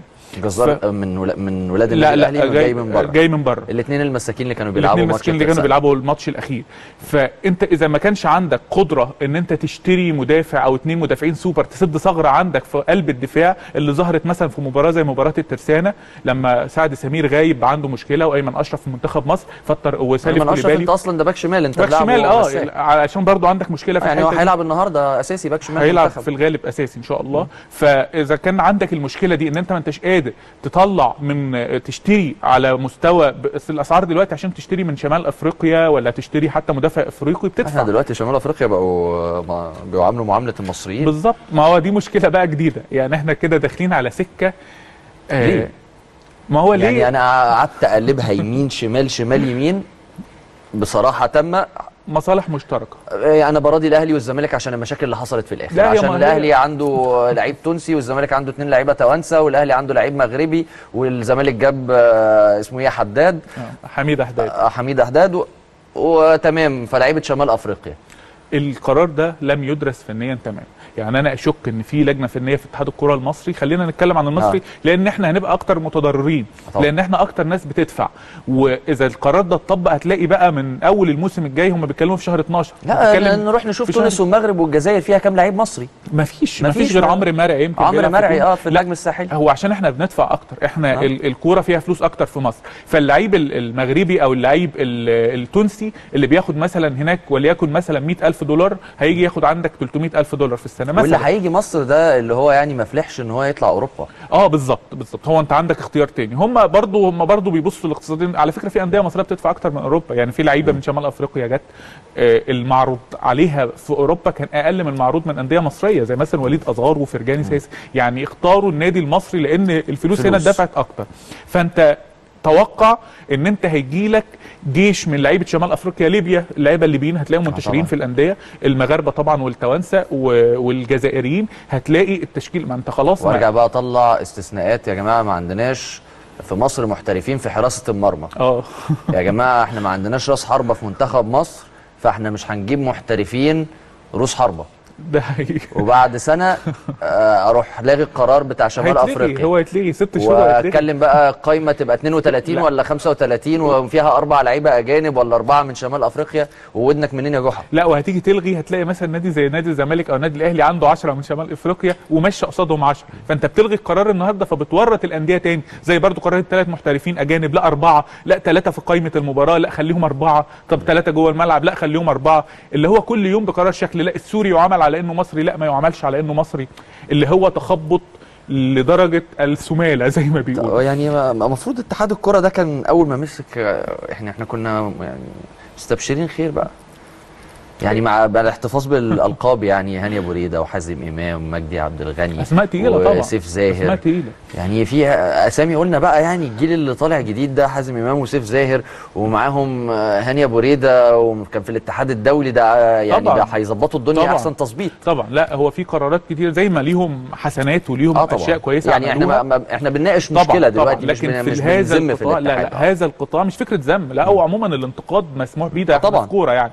ف فهذا الملف ملف الناشئين أو ملف إدارة في- الناشئين في الكورة المصرية في مشكلة إحنا كان عندنا مشكلة في كل منتخبات الناشئين السنة اللي فاتت يمكن اللي, اللي يعني نسانا الإخفاقات هو صعود منتخب مصر لكأس العالم العالم. وحتى أدى بشكل سيء فكانت حتى آه، الصورة بعد بعد كأس العالم يعني. كانت سيئة لله. ف ف ال- انت يعني عشان نقفل النقطه بتاع شمال أفريقيا ده إذا كانت الأندية المصرية أو الكره المصرية ممكن تستفيد من هذا القرار هيكون في حالة واحدة إن أنت تفتح إن اللعيبة بتاعتك تخرج من وهي صغيرة تسافر بره أوروبا. لا، ب- باسمان ده. إحنا ما بنعملش كده. فاذا انت اللعيب المصري بتاعك هيتركن يعني على الرف كذا مثال في الزمالك وكذا مثال في الأهلي مش هنعمل ده. يعني محمد هاني في الأهلي فضل مقعده مش هنعمل آه ده. في الزمالك مصطفى فتحي مصطفى فتحي نفس الشيء آه، أحمد حمدي في الأهلي حمدي كان. في ع- ع- في وهو. أحمد حمدي ما بيأديش يعني من ساعة ما مستواه نزل جدا. مستواه نزل يعني مش موجود في المباراة. أول امبارح مش آه، موجود ده, ده بقى. يخلينا نروح لدور ال 32 آه الأهلي والزمالك ماتشين صعبين جدا جدا من فرق كامل الاحترام ليها بس ما بتلعبش دوري ممتاز ما بتلعبش درجة أولى يعني. آه الأهلي دايما بيقول الأهلي بمن حضر والزمالك آه، في كام لعيب من الزمالك في المنتخب؟ اتنين تقريبا؟ آه آه، حمدي الونش وطارق آه، حامد وجنش ثلاثة ثلاثة يعني إحنا بنتكلم إن من 11 لعيب يعني إحنا ما عد- ما عدناش 70% آه، والنقاز وساسي آه. آه. مش موجودين مش موجودين آه في. اتنين يعني إحنا بنتكلم كانت صابر بتتكلم في بس حميد ما بيلعبش أساسي ما بيلعبش يعني إحنا بنتكلم إن. في ست لعيبة تقريبا أساسي في نادي آه، الزمالك كانت بتلعب الماتش تمام من ال 11 آه طبعا خط يعني والأهلي آه، كان في مثلا ثلاث أو أربع لعيبة. النسبة أقل شوية في الأهلي. آه، يعني النسبة أقل شوية في كان الأهلي. آه الشناوي مش موجود. آه يعني خلينا مع نقول الإصابات كمان. آه آه كان في إصابات وكان في لعيبة في منتخبات. يعني آه، لو افتكرنا كده تشكيلة الأهلي آه من أول علي لطفي, علي لطفي، آه باك يمين آه أكرم توفيق. أك- أكرم توفيق آه بيلعب وعلاء والجزار. والجزار. وكان الباك الشمال صبري رحيل, صبري رحيل. آه في خط الوسط هشام كان آه،. هشام محمد وكريم نيدفيد آه مؤمن المفروض نعتبره لاعب أساسي. بالظبط طبعا. آه هشام محمد يعتبر بديل أول. آه بس هو بيلعب من ساعة ما السوليه اتصاب. آه بالظبط فيعتبر نعده من اللاعبين الأساسيين. آه، بقية الخط كان الأمامي كان شريف، آه، آه، أحمد حمدي. بالظبط. آه، أحمد حمدي وأحمد ياسر ريان ومحمد. شريف. فيعتبر إلى حد ما اللاعب الأساسي اللي كان موجود ومش هنعتبره أساسي في الفترة اللي فاتت كان مؤمن زكريا ومعاه هشام محمد. بس كان عنده على الدكة بره شريف إكرامي وعنده حمودي. و يعني وهو حتى استبعد يمكن ميدو جابر من القايمة جابر في آخر من وقت. كان عنده من الأساسيين إسلام محارب بالظبط آه ناصر ماهر كان آه وناصر. ماهر كان موجود ناصر ماهر بعيد من فترة ناصر ماهر الحقيقة من من برضه من الألغاز في الكرة المصرية آه طبعا. من المواهب ال- اللي كنا المفروض منتظرين منه كتير لكن برضه بادئ كده يمشي في سكة مش يعني نتيجتها معروفة ف... آه يعني فيا إما يلحق مش عايز أقول نفس السكة آه. للأسف اللي مشي فيها لعيبة. يعني كنا فيها مستنيين آه. كنا مستنيين. منها كتير يعني وفي الأهلي. في أمثلة كتيرة موجودة لغاية دلوقتي رجع هو يعني آه، والله كنا يعني صالح جمعة آه ده أنا كنت منتظر طبعاً، منه طبعاً. أنت بتتكلم يكسر مواهب. الدنيا أنت بتتكلم في مواهب رجله تتلف في حرير يعني من طراز عالمي يعني إحنا مش هنبالغ لو قلنا إن لاعب زي صالح جمعة ده لو كان اهتم بموهبته من زمان كان زمانه فعلا في في كلاس تاني خالص غير اللي هو فيه دلوقتي. هو يعني عبد الله السعيد اللي كان يعني مع كامل الاحترام ليه لعيب مهم جدا اللي كان بيتقال ملوش بديل صالح جمعة لو كان رجع بمستواه كان يقعد لا هو كمان كان. أنا أعتقد صالح عنده إمكانيات لأنه أصغر في السن. ففت أكتر. بالظبط. لا صالح كان عنده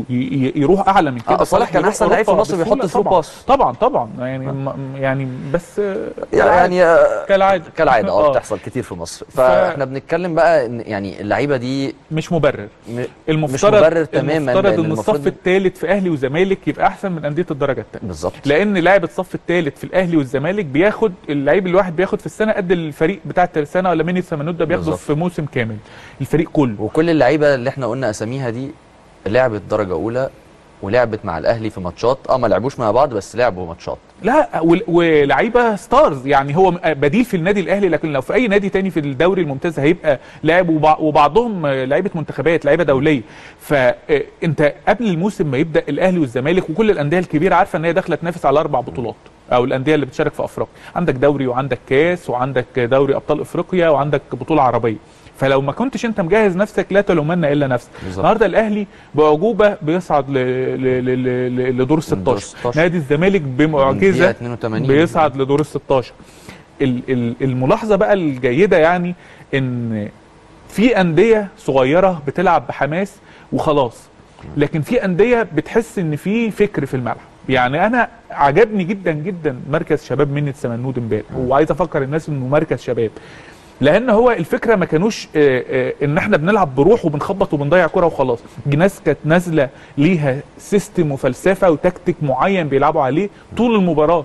يعني طول المباراه هم بيلعبوا تكتيك معين لما آه، في وقت الدفاع. آه هم ليهم هم عارفين إن إمكانياتهم يعني بتأهلهم آه، للعبة واحدة. ظهر إن مفيش فروقات كبيرة ما بين اللعيبة المصريين؟ هو ده اللي حسيته. أو دي الرسالة اللي وصلتنا يا جماعة. يعني لما لعيب النهارده بيطلب 8 يعني مؤمن زكريا مثلا بيطلب من الأهلي دلوقتي يجدد ب 7 و8 مليون.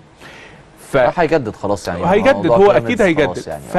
فالمؤمن زكريا ما قدمش بقاله كتير اللي يديله كتير في المبلغ ده ده. يعني ف ده ومش ده كمان واللي قبله واللي قبله. أنا بس بضرب مثال. الماتش ده كان لوحده سهلة تماما. جدا آه سهلة ده لوحده سهلة تماما. آه يعني. ودي اتكررت في كذا ماتش. أنا بضرب بس مثال بمؤمن مش مؤمن تحديدا آه طبعا. كشخص. أنا لأنه ده الحالة اللي موجودة دلوقتي. زي مؤمن فيه في الزمالك كتير وفيه في الأهلي كتير.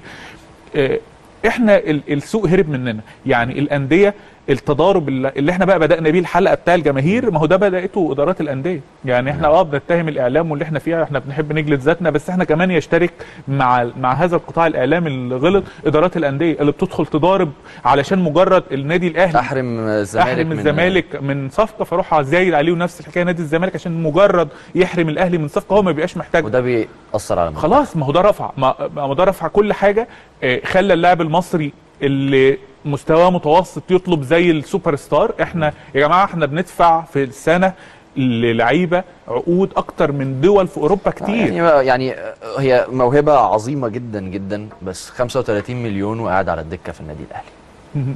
اللي هو صلاح محسن؟ صلاح محسن. هو صلاح محسن. موهبة رائعة ولد يعني ربنا يحميه. بس في الآخر الأهلي دفع 35 مليون يعني يعتبر أغلى لعيب مصري دلوقتي. آه طبعا أغلى لاعب على. الدكة. هي مشك... طيب. مشكلته إنه عنده الأساسي وليد أزارو بس أنت تقدر تستغله يعني تقدر تستغله لأنه بيدي كل ما بينزل بيدي في أماكن تانية أنا السؤال بقى الأخير عشان إحنا وقتنا خلص خلاص النهارده في ماتش يعني الناس مش مهتمية قوي بيه يعني حاسين إن إحنا هنكسب هنكسب خلاص ربنا يسهل يعني بدون مقاطعة يعني ما بين بقى مصر وسوازيلاند أو زي ما بيسموها دلوقتي. ايسواتيني آه، أعرف منك كده سريعا التشكيل المتوقع عشان تمام. نختم بيه. طيب نبدأ بالتشكيل. آه، أعتقد يعني أو اللي واضح من التدريبات إن محمد الشناوي هيبدأ أساسي. في نسبة ضئيلة للجنش لكن هو محمد الشناوي الاحتمال الأكبر هو اللي. يبدأ أساسي. آه، أحمد المحمدي هيلعب في مركز الباك اليمين. مركز قلب الدفاع غالبا عمرو طارق هو اللي هيحل محل أحمد حجازي, حجازي. البديل بتاعه من بعيد ممكن يكون علي جبر لكن عمرو طارق هو الأقرب. آه، هيكون معاه باهر المحمدي في كولومبوس تقريبا آه. آه في أمريكا. آه باهر المحمدي هيكون قلب الدفاع الثاني زي ما لعب في, ماتش النيجر باك. الشمال غالبا هيكون أيمن آه أشرف, أشرف. الاثنين الديفندرات غالبا علي غزال ومحمد النني آه هيبقى playmaker عمرو وردة هيكون موجود تريزيجيه ومحمد صلاح ومروان محسن اللي هو المهاجم الوحيد اللي مفيش موجود حد مهاجم آه، حاليا مع. آه مع كوكا تمام. هنكسب إن شاء الله. هنكسب إن شاء الله وده يعني لو هنقول بس سريعا دي من حظ أجيري الجيد ومن حظنا الجيد إنه بدأ آه، بالنيجر آه. واثنين سوازيلاند يكتسب ثقة ويجرب لعيبة تونس. ان شاء الله. ربنا كريم. آه، أستاذ وليد الحديدي الناقد الرياضي بجريدة الأهرام بشكرك شكرا جزيلا. شرفتنا ونورتنا تسلم أنا اللي اتشرفت وسعيد بالتواجد معاك وعلى وعلى CB C Extra وتحياتي للجماهير. الله يخليك. شكرا جزيلا ليك. وبعد الفصل هيكون معانا في الاستوديو مخرج فيلم القرار. الأستاذ عبد الجواد إبراهيم الفيلم اللي اتعرض امبارح في الندوة التثقيفية للقوات المسلحة الندوة التثقيفية 29 اللي كان حاضرها بكل تأكيد الرئيس عبد الفتاح السيسي. هنناقش مع ضيفنا تفاصيل صناعة الفيلم التسجيلي اللي بيرصد القرارات المصرية الهامة في تاريخ مصر. استنونا.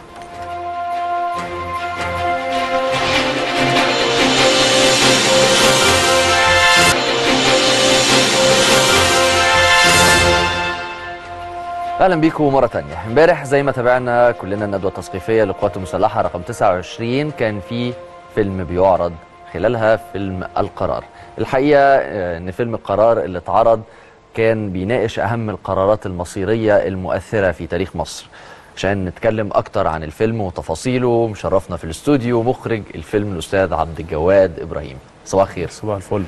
أه تسلم إيدك. آه، ربنا يخليك. عايزين نعرف بقى آه، يعني بداية الفيلم يعني إزاي آه، جت الفكرة وهل حد كلمك قال لك إحنا عايزين نعمل فيلم عن الجيش وعن القرارات المصيرية؟ آه اختيارك للممثلين يعني احكي لنا كده بداية الفيلم إزاي؟ آه، هو بداية الفكرة كانت يعني لل- للشؤون المعنوية. هم حبوا السنة دي يعني بالتحديد يعملوا حاجة مختلفة عن كل سنة. و- ودي يمكن لأول مرة في تاريخ الندوات التثقيفية للجيش إن يقدم بيتقدم فيها فيلم آه، آه، روائي يعني. آه، كانت ال- ال- المتعودين عليه قبل كده كانت بتبقى حفلات غنائية كانت بتبقى في أفلام تسجيلية قصيرة. لأول مرة يبقى في فيلم روائي. يعني. هم حبوا السنة دي يناقشوا أكتر من فكرة من ضمنهم فكرة القرار أو القرارات المصيرية. في نفس الوقت هو فكرة التطرف في القرار لدى بعض الشباب يعني مش كل الشباب. آه، زي ما في تطرف ديني في تطرف أيضا في القرارات. وهو هنا اللي هو بيحصل خلط ما بين المغامرة غير المحسوبة والقرار. إن حد يبقى مغامر مغامرة غير محسوبة تيجي تسأله يقول لك والله ده قرار يعني. آه، الفيلم أحداثه بتدور أو الفكرة كلها الرئيسيه يعني بتدور إن آه، إن ال- ال- الفيلم بيربط ما بين الماضي والحاضر والمستقبل. الماضي اللي هو بيتمثل في أب آه، عنده ولدين ولد من المفترض إن هو بيحارب في الأستاذ سينا. أحمد فؤاد سليم. آه, آه وبيحارب في سينا. وال- والابن الثاني من المفترض إن هو مهندس يعني. فهو الراجل كان عنده حلمين أو عنده حلم يعني انه هو آه يبقى عنده ولد بيدافع عن عن الأرض والتاني بيبني. بحكم آه نشأته إن هو راجل كان آه، عاصر في حروب الاستنزاف وحارب في أكتوبر. وبالمناسبة الأستاذ أحمد فؤاد سليم آه. مر بالتجربة دي. بالفعل يعني. يعني يمكن في حاجات في الفيلم هو كان بيقول لك دي كانت بتحصل معايا. يعني يعني كان دايما لما نيجي نكلمه مثلا على موقف معين من المفترض عايزين نقوله يقول لك ده حصل ويحكي لنا. موقف تفاصيله شبيهة بال- بال- بالموقف اللي إحنا قلناه يعني.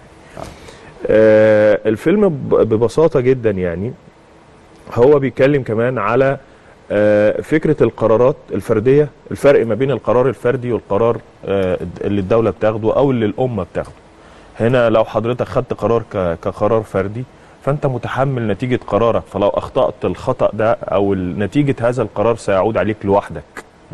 لكن الامه عندما تخطأ في اتخاذ قرار فده بيعود على الامه وده اللي قاله الفيلم. آه وده اللي قاله الفيلم في رسالته إن هو بيقول لك إن في قرارات بتبني أمم وقرارات بتفني أمم. آه والفيلم طبعا دلل البطل هو البطل ده شاب من المفترض مهندس شغال كويس يعني مش وفي نفس الوقت برضو عشان بس ما يحصلش خلط في فكرة إنه إحنا هو إحنا ضد السفر؟ لا إحنا مش ضد السفر خالص. هو والبطل حتى هو صحابه بيكلموه بيقولوا له وانت مسافر ليه؟ يعني أنت مسافر تشتغل؟ يعني هو اوريدي شغال هنا وشغال مهندس شغال في شركة كويسة جدا. آه وعايش عيشة كويسة جدا. بس هو حاسس أو شايف إن إمكانياته أكبر من حدود البلد دي وشايف إن البلد دي فيها ظروف هو مش لازم يستحملها. وشايف إن أنا ممكن يبقى في بلد أخرى بلد ما يعني يبقى الظروف فيها أحسن آه، فتستوعب قدراتي فأنجح فيها أكتر وكده يعني.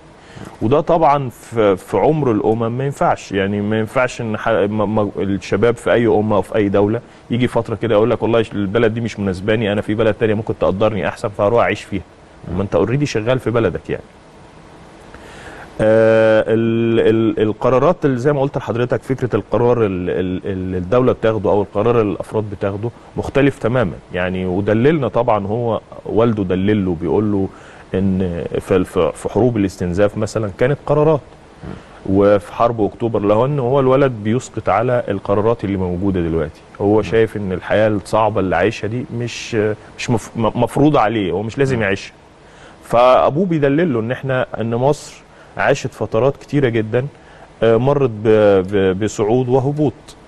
آه، ولكن الشعب دايما كان واقف في آه، إن هو يبني بلده وإن هو ما يهربش وإن هو ما يستسلمش. وده حصل في حرب أكتوبر وحصل في حرب الاستنزاف وحصل في قرار تأميم السد وحصل في قرارات كتيرة جدا قرارات شعبوية أكتر من إن هي قرارات فردية يعني.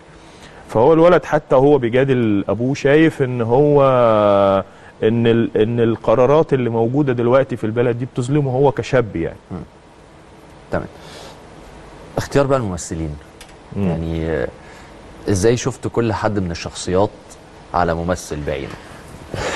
والله أقول لحضرتك حاجة يعني هو ال- الفيلم ده كان له ظروف صعبة جدا في إن هو يطلع يعني. لأن يمكن أنا تم تكليفي بالفيلم ده يمكن قبل الندوة بالظبط ما أقل من شهر بكتير جدا. أوكي. وكل المؤشرات كانت بتقول استحالة إن إحنا ننفذ الفيلم. مش هتلحق. آه ولكن للأمانة يعني الجماعه في الجيش آه، وخاصة آه، الشؤون المعنوية يعني. سخروا لك كل الإمكانيات. لا هم عندهم حتى دايما كانوا بيقولوا كل ما أقول يعني الموضوع صعب في حاجة كانوا يقولوا إحنا شغالين إحنا بنعمل حاجة لأكتوبر وشغالين بروح أكتوبر. ما كنتش بفهم ال- الموضوع ده لأن هي ال- الحكاية على قد ما هي قصيرة بس فيها فيها تفاصيل كتيرة أنت جدا. مدة الفيلم تقريبا 18 آه, آه آه. آه بس هو الفيلم يعني صعوبته في إن الفيلم فيه مجموعة من الرسائل ال- المباشرة والغير مباشرة. يعني الفيلم بيخاطب آه كل التوجهات. يعني بيخاطب فكرة شاب عايز ياخد قرار يعني. آه آه واخد قرار خطأ يعني. بيتكلم برضو على فئة ال- ال- المدرسين. إن صاحبه هو اوريدي مدرس وهو فخور بمهنته والتاني نظر له يعني تخيل واحد بيقول لك أنا مهندس وعايز أطفش من البلد والتاني مدرس وأنا مش عايز أمشي من البلد دي. بيتكلم على فكرة القرارات الكتيرة جدا اللي خدتها الدولة وإن في قرارات زي القرارات ال- الأخيرة القرارات الاقتصادية آه، آه، قرارات مهمة وحاسمة من وجهة نظر الدولة في بعض المواطنين شايفين إن هي مش مش من المفترض إن هي تبقى موجودة دلوقتي يعني. آه، فالفيلم فيه مجموعة من الرسائل المختلفة المباشرة زي ما قلت لحضرتك والغير مباشرة. فكان لازم آه، اولا إن إحنا لأن إحنا يعني يعني في رسائل مش متقالة بال يعني في, في, في مش بت مش بتقالة بالحوار. بالبق، يعني مش بس آه. متقالة رياكشن ممثلين مثلا. يعني مثلا أحمد قصدي محمد عز اللي هو من المفترض عامل دور خالد هو كل الناس شايفاه فعلا إن هو هو عاش نفس الحالة يعني. يعني هو عاش نفس الحالة. ال- ال- الضابط آه، كريم آه، كريم بقى له تجربة مختلفة تماما. كريم بالفعل كان هو ممثل آه وكان مجند آه بضابط احتياط وخدم في سينا. آه فهو كان عايش الدور جدا. يعني كنا كل ما نيجي نكلمه على حاجة هو كان حقيقي. يعني هو بيقول لك أنا مش بمثل أنا بقول آه، آه، والأستاذ أحمد فؤاد هو عاش فعلا الفترة آه، دي. فيعني كنا هو كان فعلا بيكلمه. يعني يعني ما كو يعني عايز أقول لك يمكن الحوار اللي كان مكتوب يقول لك هو ده الكلام اللي كان جوايا اللي أنا عايز أقوله في الحتة دي لأن أنا عشت المرحلة دي. أنت اشتغلت معاهم على الحوار. آه آه اشتغلنا جدا على الحوار و... وبعدين إحنا كنا حابين إن إحنا نوصل رسائل مختلفة عن لأن في أزمة كبيرة جدا. آه، يمكن أنا كان ليا الشرف إن أنا أروح آه، يعني أشوف أبطالنا اللي بيحاربوا في سينا دلوقتي يعني. عظيم. آه عايز أقول لك هي حرب لا تقل عن أي حرب خاضتها البلد دي حرب حرب بمعنى الكلمة يعني. ده قبل تصوير الفيلم. آه آه آه. ف ف ف إحنا دلوقتي مثلا مثلا البطل اللي بيقول له أنا عايز عايز أسافر. واخوه اوريدي في نفس اليوم اللي هو كان عايز يسافر فيه اخوه كان رايح سينا. هو مش حاسس باخوه ده. واخوه في وادي وهو في وادي. فاحنا دايما طب احساس اخوه إيه لما يحس ان اخوه ده هو مش حاسس بيه أصلا مش حاسس باللي بيعمله عشان البلد ومش حاسس بال وابوه برضه كل اللي عمله ده حاسس ان ابنه مش حاسس بيه وعايز يسيب البلد وعايز يسافر وحاسس ان البلد دي ما فيهاش حاجة يعني. انت فاهمني؟ فهو زي ما بقول لحضرتك فكرة آه، اختيار الممثلين طبعا آه، للأمانة آه، يعني أنا حسيت إن إن ربنا وفقنا كتير جدا إن كل واحد كان إن جدا في الدور بتاعه يعني عز أو أو كريم. كريم سرور أو كريم عبد الجواد أو الأستاذ أحمد فؤاد أو البنت الصغيرة آه، ال- لأن ديما دي. حكايتها حكاية آه. ديما دي من المفترض هي بنت الضابط اللي هو شريف اللي هو كريم عبد الجواد وديما دي هي الرابط ما بين الماضي والحاضر والمستقبل. آه. يعني هي الفكرة كمان بتاعت الفيلم هي فكرة مرتبطة بجزء هي مسرحي. الخط ال ال ال آه وهي- فكرة جديدة برضو نعملها أول مرة. آه آه مرتبطة بجزء مسرحي بيحدث قدام السيد الرئيس وقدام الحضور في ال- الحفلة يعني. هي هم من المفترض هي خرجت من الفيلم فطلعت قدامهم على المسرح. هي خلاص سمعت ال- ال- الحاضر والماضي اللي ما بينهم إشكالية. آه يعني اللي هو اللي هو موجود دلوقتي في مصر آه اللي هو موجود دلوقتي في مصر. يعني هتلاقي دلوقتي في الشارع المصري في خلاف على الماضي وخلاف على حاجات في الحاضر أنت فاهم آه، قصدي؟ طبيعة بشرية. وهتلاقي في آه. هتلاقي في في صدام. لكن هو الجيل اللي جاي هو مش عايز الصدام ده يأثر. آه آه آه مش عايز الصدام ده يأثر على مستقبله. يعني هو مش عايز الصدام ده إن عمه إن عمها يسافر وما يكملش بنى أو راجل مهندس. ومش عايز الصدام ده يخلي آه والدها ما يروحش يحارب في سينا. ومش عايز الصدام. هو إحنا بنتكلم هنا هو ال- الفيلم هو نموذج لأسر كتير مصرية. طيب آه البنت كانت يعني أدائها حاضر جدا على المسرح. آه هل عملت كاستنج لعدد من الأطفال اخترت منه ديما؟ آه، كل ال- الولاد اللي ظهروا دول بالفعل هم ممثلين وشغالين في اشتغلوا في أفلام كتيرة جدا وهي ديما بالتحديد يعني اشتغلت في أفلام آه، قبل كده وهي إحنا لما جينا نعمل كاستنج إحنا كان في دماغنا يعني أنا أنا بكلمك بأمانة يعني. كان في دماغي حد آه، هي نفس مواصفات ديما يعني اللي جوه دماغي حد ورحنا وقعدنا وشفت أنا شخصيا يعني شفت حوالي آه، 35 بنت ف- في نفس عمرها. وآخر بنت خالص أنا بكلمك يعني حكاية كده من اللي بتحصل في ال- في آه. الحكايات يعني. وأنا مش مقتنع يعني أنا لدرجة إن أنا اخت- جبت ما بين اتنين كنت خلاص يعني هختار واحدة منهم. وهي داخلة في الآخر خالص آه، كان في خلاف كده بينها وبين بنوتة ولا مش عارف إيه فهي زعلانة. فعجبني جدا ال reaction وعجب وعجبني جرأتها لأن هي جريئة جدا ان هي تطلع قدام هذا الجمع. وخلي بالك آه، يعني هي عملت بروفات مش كتيرة قبل ال- الحفل. قبل الحفل. يعني آه فالبنت already جريئة و- وشاطرة وبتعرف تمثل كويس جدا. يعني يعني مثلا إحنا عشان وقت الوقت كان مضغوط جدا فكنا بنمثل يعني بن عشان نصور الفيلم ده كان وقتنا مضغوط جدا. فجي من المفترض هي كان ليها هي بنوتة صغيرة وكنا بنسج بن بن بنصور بالليل. آه. فقعدنا نصور هي كان لها مشهد في أول الليل. ففضلت معانا في اللوكيشن سهرانة وكان عندها تصوير آه، بالنهار تاني يوم. ففضلت بتصور يعني يعني أنا أنا كنت مقلق منها جدا ولكن آه، بصراحة أنا استغربت يعني يعني يعني في ناس آه، كبيرة معانا كانت خلاص سقطت مننا آه خلاص يعني. وقعت. آه. يعني آه. لكن هي ما شاء الله عليها هي متمرسة جدا وبتمثل حلو قوي. و... و... و... وحتى لما طلعت على المسرح يعني آه، القاعة كلها أعجبت آه، بأدائها يعني. طبعا طبعا. آه عايز أسألك بقى على مرحلة المونتاج. آه عادة يعني الناس بتبقى حاطة هامش لمدة الفيلم. يعني الفيلم ده هيبقى مثلا في حدود الساعة ونص. الفيلم ده هبقى عامله رواية قصير هيبقى في حدود الربع ساعة. انت كنت محدد وقت من الأول اتخرجوا كنا بيه م- ولا صورت مشاهدك وبعد كده المونتاج هو اللي حكم؟ لا لا إحنا كنا محددين وقتنا بالتحديد يعني ربع ساعة. وبصراحة لقينا وإحنا بنشتغل يعني لقينا حاجات معينة كده آه، ضفنا حاجات وبتاع والموضوع وصل لحوالي 17 18 دقيقة. ده غير العرض اللي هيحصل على المسرح. ولكن آه، يعني آه، لظروف الحفلة يعني فالفيلم بقى في نسخة نسخته الحالية يعني اللي اتذاع بيها أو لظروف توقيت الحفلة بقى آه، حوالي آه، كله على بعضه بال- بالعرض كله 17 دقيقة. يعني هو حوالي آه، قللنا منه حاجات. طبعا طبعا يعني شلت تقريبا دقيقة ونص دقيقتين. آه يعني حوالي دقيقتين كده. فهي مشاهد مختلفة يعني في أو حاجات م- معينة كده. إحنا لأن هو الفيلم برضو اللي أنا عايز آه، أقول لحضرتك عليه هو مش فيلم آه، مش الم- هو فيلم حدثي معمول لحدث ما. بالظبط. أنت فاهم قصدي؟ يعني مش طبعا. مش فيلم معمول للسينما عشان يتعرض في السينما. لكن هو فيلم معروض في حدث ما عشان يوصل رسائل ما. أنت فاهم قصدي؟ وهو حتى يعني السيد الرئيس أثنى عليه امبارح في الحفلة لأن هو السيد الرئيس أصلا ما كانش هيتكلم. أنا كنت لسه عايز أسألك بقى على ردود الأفعال. يعني ردود الأفعال في القاعة وردود الأفعال الناس اللي كلمتك بعد ما الفيلم اتعرض. أنا طبعا يعني ال الكلام اللي بيتقال في الحلقات في الحالات دي أنا ناس كتيره كلمتني والحمد لله وج... بس أنا أنا بكلمك حقيقي يعني حقيقي الحمد لله. آه، كل الآراء كانت إيجابية بما فيهم سيد رئيس. يعني سيد رئيس الفيلم استفزه جدا. وده آه، يعني أكتر حاجة اسعدت كل الناس حتى اللي موجودين في القاعه ال- استفز السيد الرئيس جدا والسيد الرئيس طلع واتكلم و... وقال لهم أنا عايز آه، قال للناس حتى قال لهم أنا عايز أخليكم تستطعموا الكلام اللي أنتوا سمعتوه.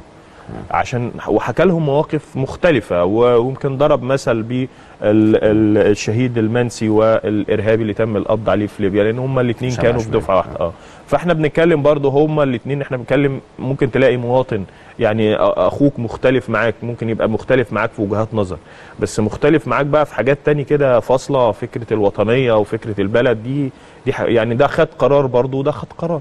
ده حد خد قرار إن هو يدافع عن بلده ومات وأصبح يعني آه، سيرته مخلدة في تاريخ الأمة المصرية آه، إلى ما لا نهاية. وواحد تاني حط نفسه في مكانة آه، مختلفة تماما إن هو خد قرار مختلف برضه. هو برضه هي هي هي آه، نفس نظرية القرار اللي إحنا كنا بنتكلم عليه. وأنت لو قارنت الحالتين ببعض هتلاقيهم متشابهين جدا. واحد آه، عنده تطرف في في القرار والتاني عنده تطرف ديني.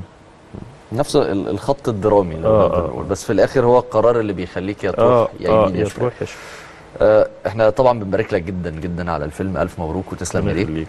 ونستنى بقى نشوف حاجات جديدة. إن شاء الله بإذن الله إن شاء الله بإذن الله. آه بشكرك جدا الاستاذ عبد الجواد إبراهيم آه مخرج ومخرج فيلم القرار اللي اتعرض امبارح في الندوة التثقيفية 29 واستاذنك هندي فرصة بقى للناس اللي ما قدروش يتابعوا امبارح الفيلم يتابعوه معانا دلوقتي من وأتمنى إنه يعجب الناس برضو. إن واتمنى إن الله. الرسائل اللي إحنا حابين نوصلها للناس توصل لهم بشكل آه، كويس يعني. إن شاء الله. أه بشكركم جدا حضرات السادة المشاهدين. هسيبكم دلوقتي مع فيلم القرار أه فيلم روائي قصير اتعرض امبارح في الندوة التثقيفية 29 للقوات المسلحة بحضور السيد الرئيس عبد الفتاح السيسي أه عن أهم القرارات اللي اتخذت في يعني مش عايز أعمل راب اب أو أدي لكم إجمال عن الفيلم هسيب حضراتكم بعد ما سمعتوا القائم الرئيسي على العمل مخرج العمل تتفرجوا وتشوفوا فيلم آه، جيد في الصناعة إن شاء الله. وعلى وعد أكون معاكم بكرة الصبح في حلقة جديدة من هذا الصباح.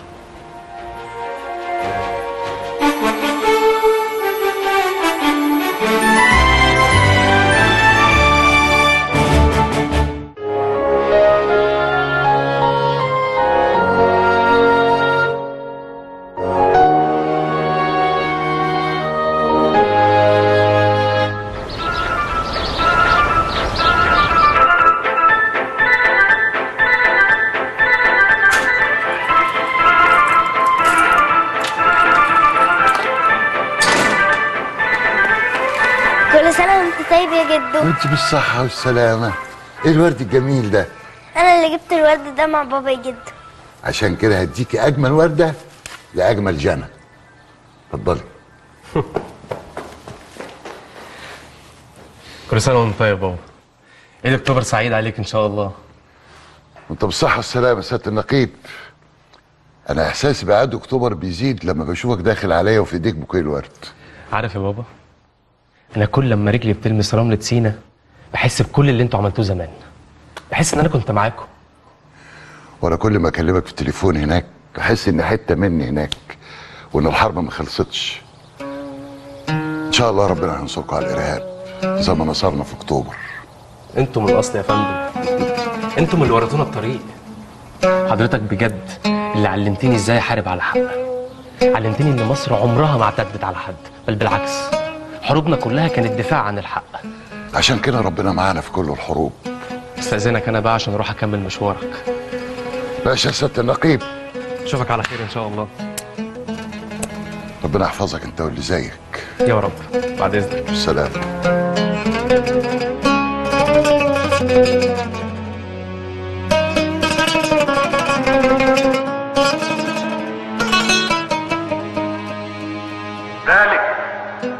أن اعتقادي دائما كان ولا يزال. أن التمني بلا إرادة نوع من أحلام اليقظة. يرفض حبي وولائي لهذا الوطن أن نقع في سرابه أو في ضبابه. من أهم دروس العبور في أكتوبر إن النصر قرار وإرادة. قرار لجيش وطني. أراد تحرير كل شبر من أرضه وإرادة لشعب وقف في ظهر جيشه في كل الظروف وآمن بقدراته رغم كل المكائد عشان كده كنا متأكدين إننا هنعدي القناة وهننسف كل الموانع حتى لو صورها العالم كله إنها مستحيلة. حربنا في أكتوبر أكدت إن المستحيل لغة ما يفهمهاش المصريين. وهو لما الشعب كله يجتمع على قرار مفيش حد في الدنيا يقدر يهزمه. وعشان كده كنا جيش وشعب شعارنا الله أكبر. الله أكبر.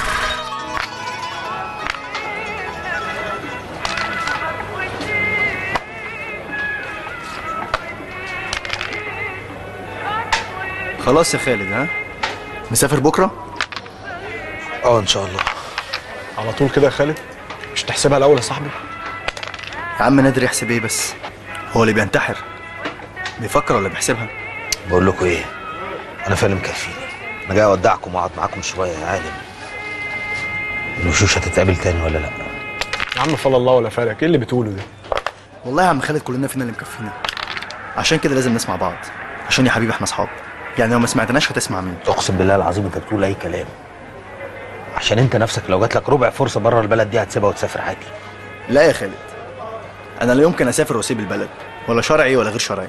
في حد عاقل يسيب أهله وناسه ويسافر؟ أنا كفاية عليا إن أنا بعمل هنا الحاجة اللي بحبها وأنا في بلدي. اللي زيك يا خالد عمره ما هيحس. اللي أنا بحسه وأنا بعلم تلميذ من تلامذتي حاجة جديدة تنفعهم وتفيدهم.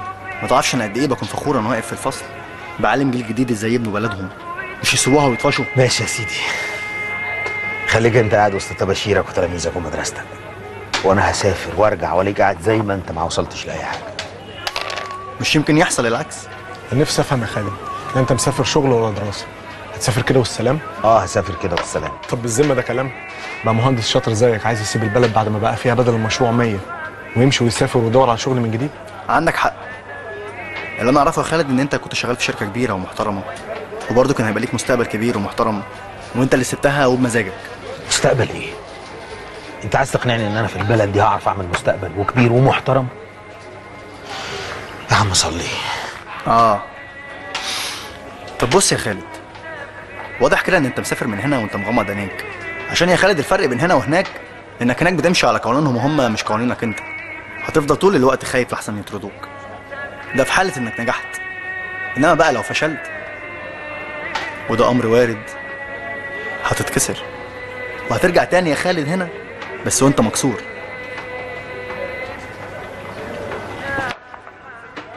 وكده قفلت يا صاحبي.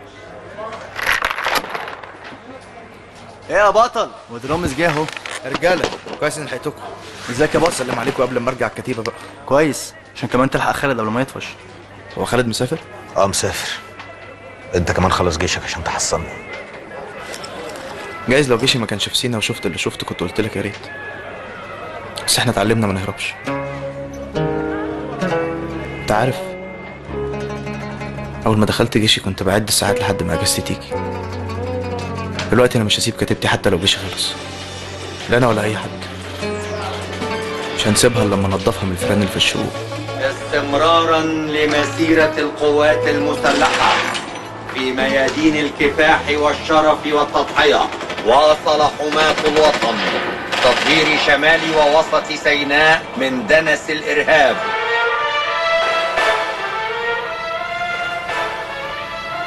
هو ده اللي بنواجهه في سينا. هي دي الأرض اللي إحنا بندافع عنها ومش هنسيبها ونهرب زي ما انت عايز تعمل. أنتوا ليه مصرين ان اللي بيدور على مستقبله في البلد دي بيبقى بيهرب؟ بص يا رامز أول ما تخلص جيشك وتخرج وتصطدم بالواقع اللي انت هتعيش فيه هتقول يلا نفسي. وصدقني مش هتفكر غير في نفسك. هتبقى عايز تحصلني. انت عارف إيه الفرق بيني وبينك يا خالد؟ ان انت ما بتفكرش غير في نفسك. بس أنا اتعلمت من ابطال انت ما تعرفهمش. ان أنا ممكن أموت عشان غيري يعيش. طب الله يرحمك يا صاحبي. لو بتتكلم عن الموت هقول لك اننا ما بنخافش منه. بالعكس. صاحبنا وبنشوفه كل يوم. لما حد بيستشهد بنفرح له. الافرول اللي على جسمنا ده بقى عزتنا وشرفنا. بقى هو كفنا أمانة عليك تسلمني على أبوك يا خالد. هو اللي علمنا يعني إيه رجولة ويعني إيه تضحية.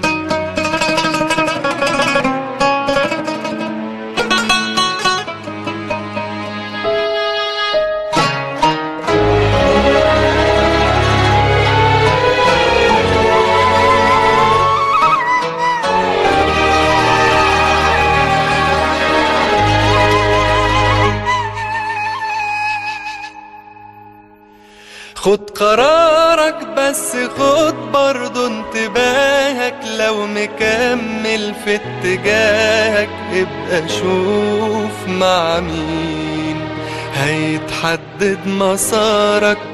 خد قرارك وانت لو داخل تحدي اجمد اثبت دوس وعدي.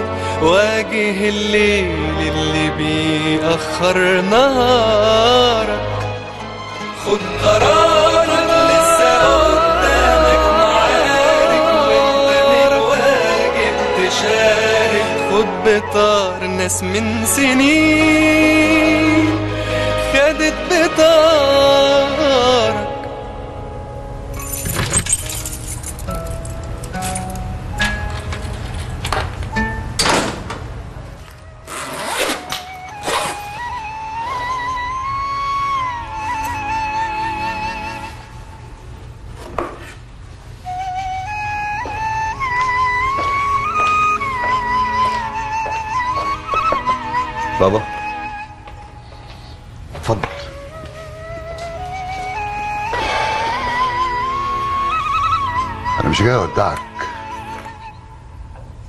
عشان أقول لك إنك لو سافرت الدنيا هتقف والبيت هيتهد.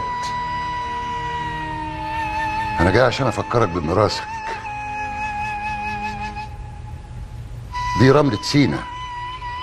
جدودك دمهم مخلوط بالرملة دي. في حرب 48 و56 ودم أنا كمان. لما اتصبت في حرب الاستنزاف وفي 73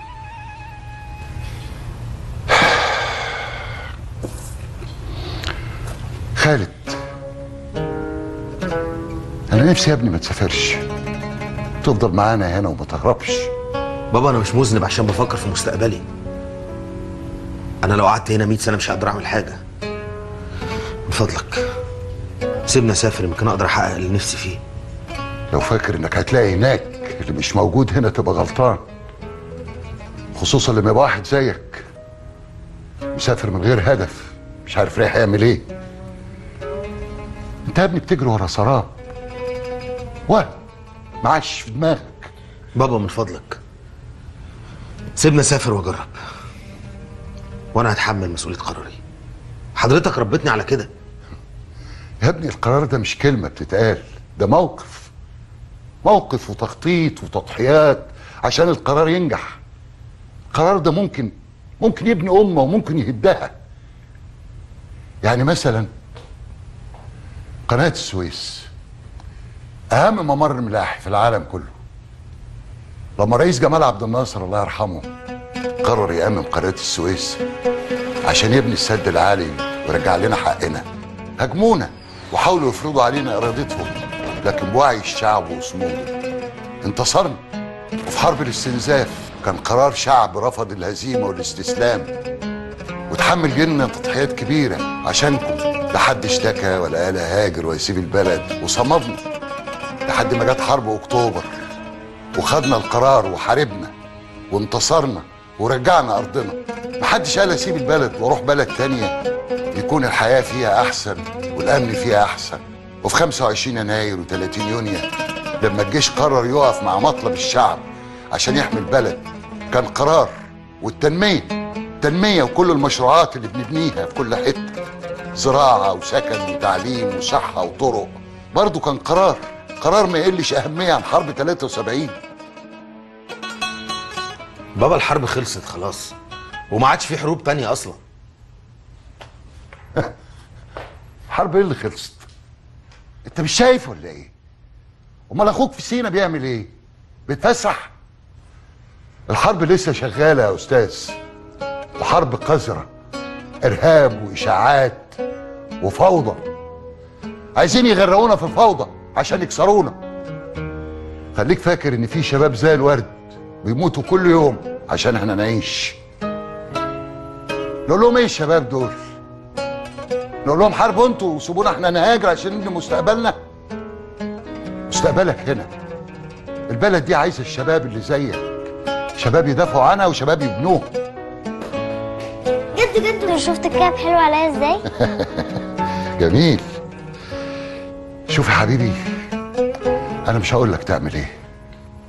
بس اللي بيتخذ قرار بيتحمل مسؤولية قراره. وهترجع تاني يا خالد هنا؟ بس وأنت مكسور.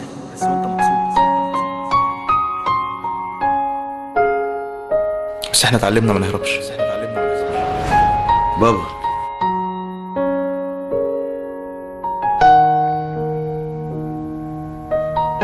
جد ممكن آخد دي؟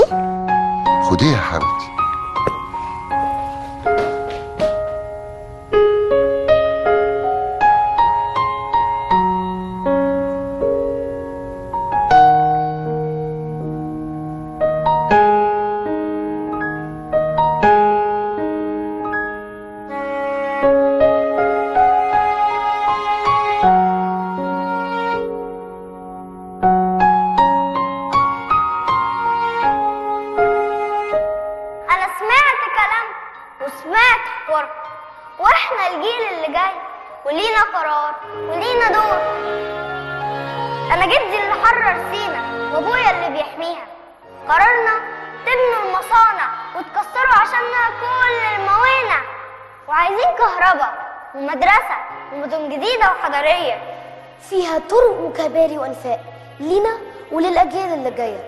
وعايزينكم تزرعوا وتحافظوا على زراعتنا وميتنا. وعلشاننا لازم تفكروا وتدوروا وتعملوا لبكره وصحتنا كمان لازم تبقى جوه الفكرة. ابنوا المدارس والمساكن والطرق والسدود ابنوا العقول وازرعوا الأرض واحموا الوجود علشان المستقبل وعلشان توصلوا بينا ومعانا لبر الخير والأمان. إذا كان الطريق لسه طويل فرحلة الألف ميل بتبدأ بخطوة والأمل فينا ولينا عشان الحاضر وبكرة وزي ما انتصرنا في أكتوبر بالعزيمة والقرار كان بإيدينا إحنا. روح أكتوبر. هتفضل دايما طريقنا وسكتنا. وده مش كلام ده طريق لازم نمشيه ونؤمن بيه. سواء كنا الحاضر أو كنا بكرة. وكل حلم كبير بدايته فكرة. ولازم تعرفوا إن الأمل ما بقاش بعيد. وإحنا لينا دور أيوه لينا دور لازم نحلم ونفكر إيه اللي يخلينا نعمر ونذاكر عشان تعلى بلدنا بينا. ونساهم ونشارك كل واحد بدوره سواء كنت هبقى ظابط أو مهندس أو مدرس أو طبيب. المهم إن بلدنا لازم تطيب هيبقى فيه شوية صعوبات هيبقى فيه شوية تعب. معلش نستحمل شوية. وإذا كان جيلنا عايزين ينجح لازم نوضح له الطريق ويختار هو الرفيق. والرفيق هو العمل والجهد والصبر مش يقعد يتفرج. وانت يلي بتسأل إيه اللي اتعمل لينا؟ تعالى بص بعينينا. إحنا شايفين وعارفين إن الأمل بكرة كله لينا. وعلى فكرة تجرسنا دايما شهيد. خيرة الفرسان اللي ضحى بروحه عشان نعيش في أمان. وتعظيم سلام للي ضحى واللي هيضحي. إحنا بين ايديكم هنقول عليكم.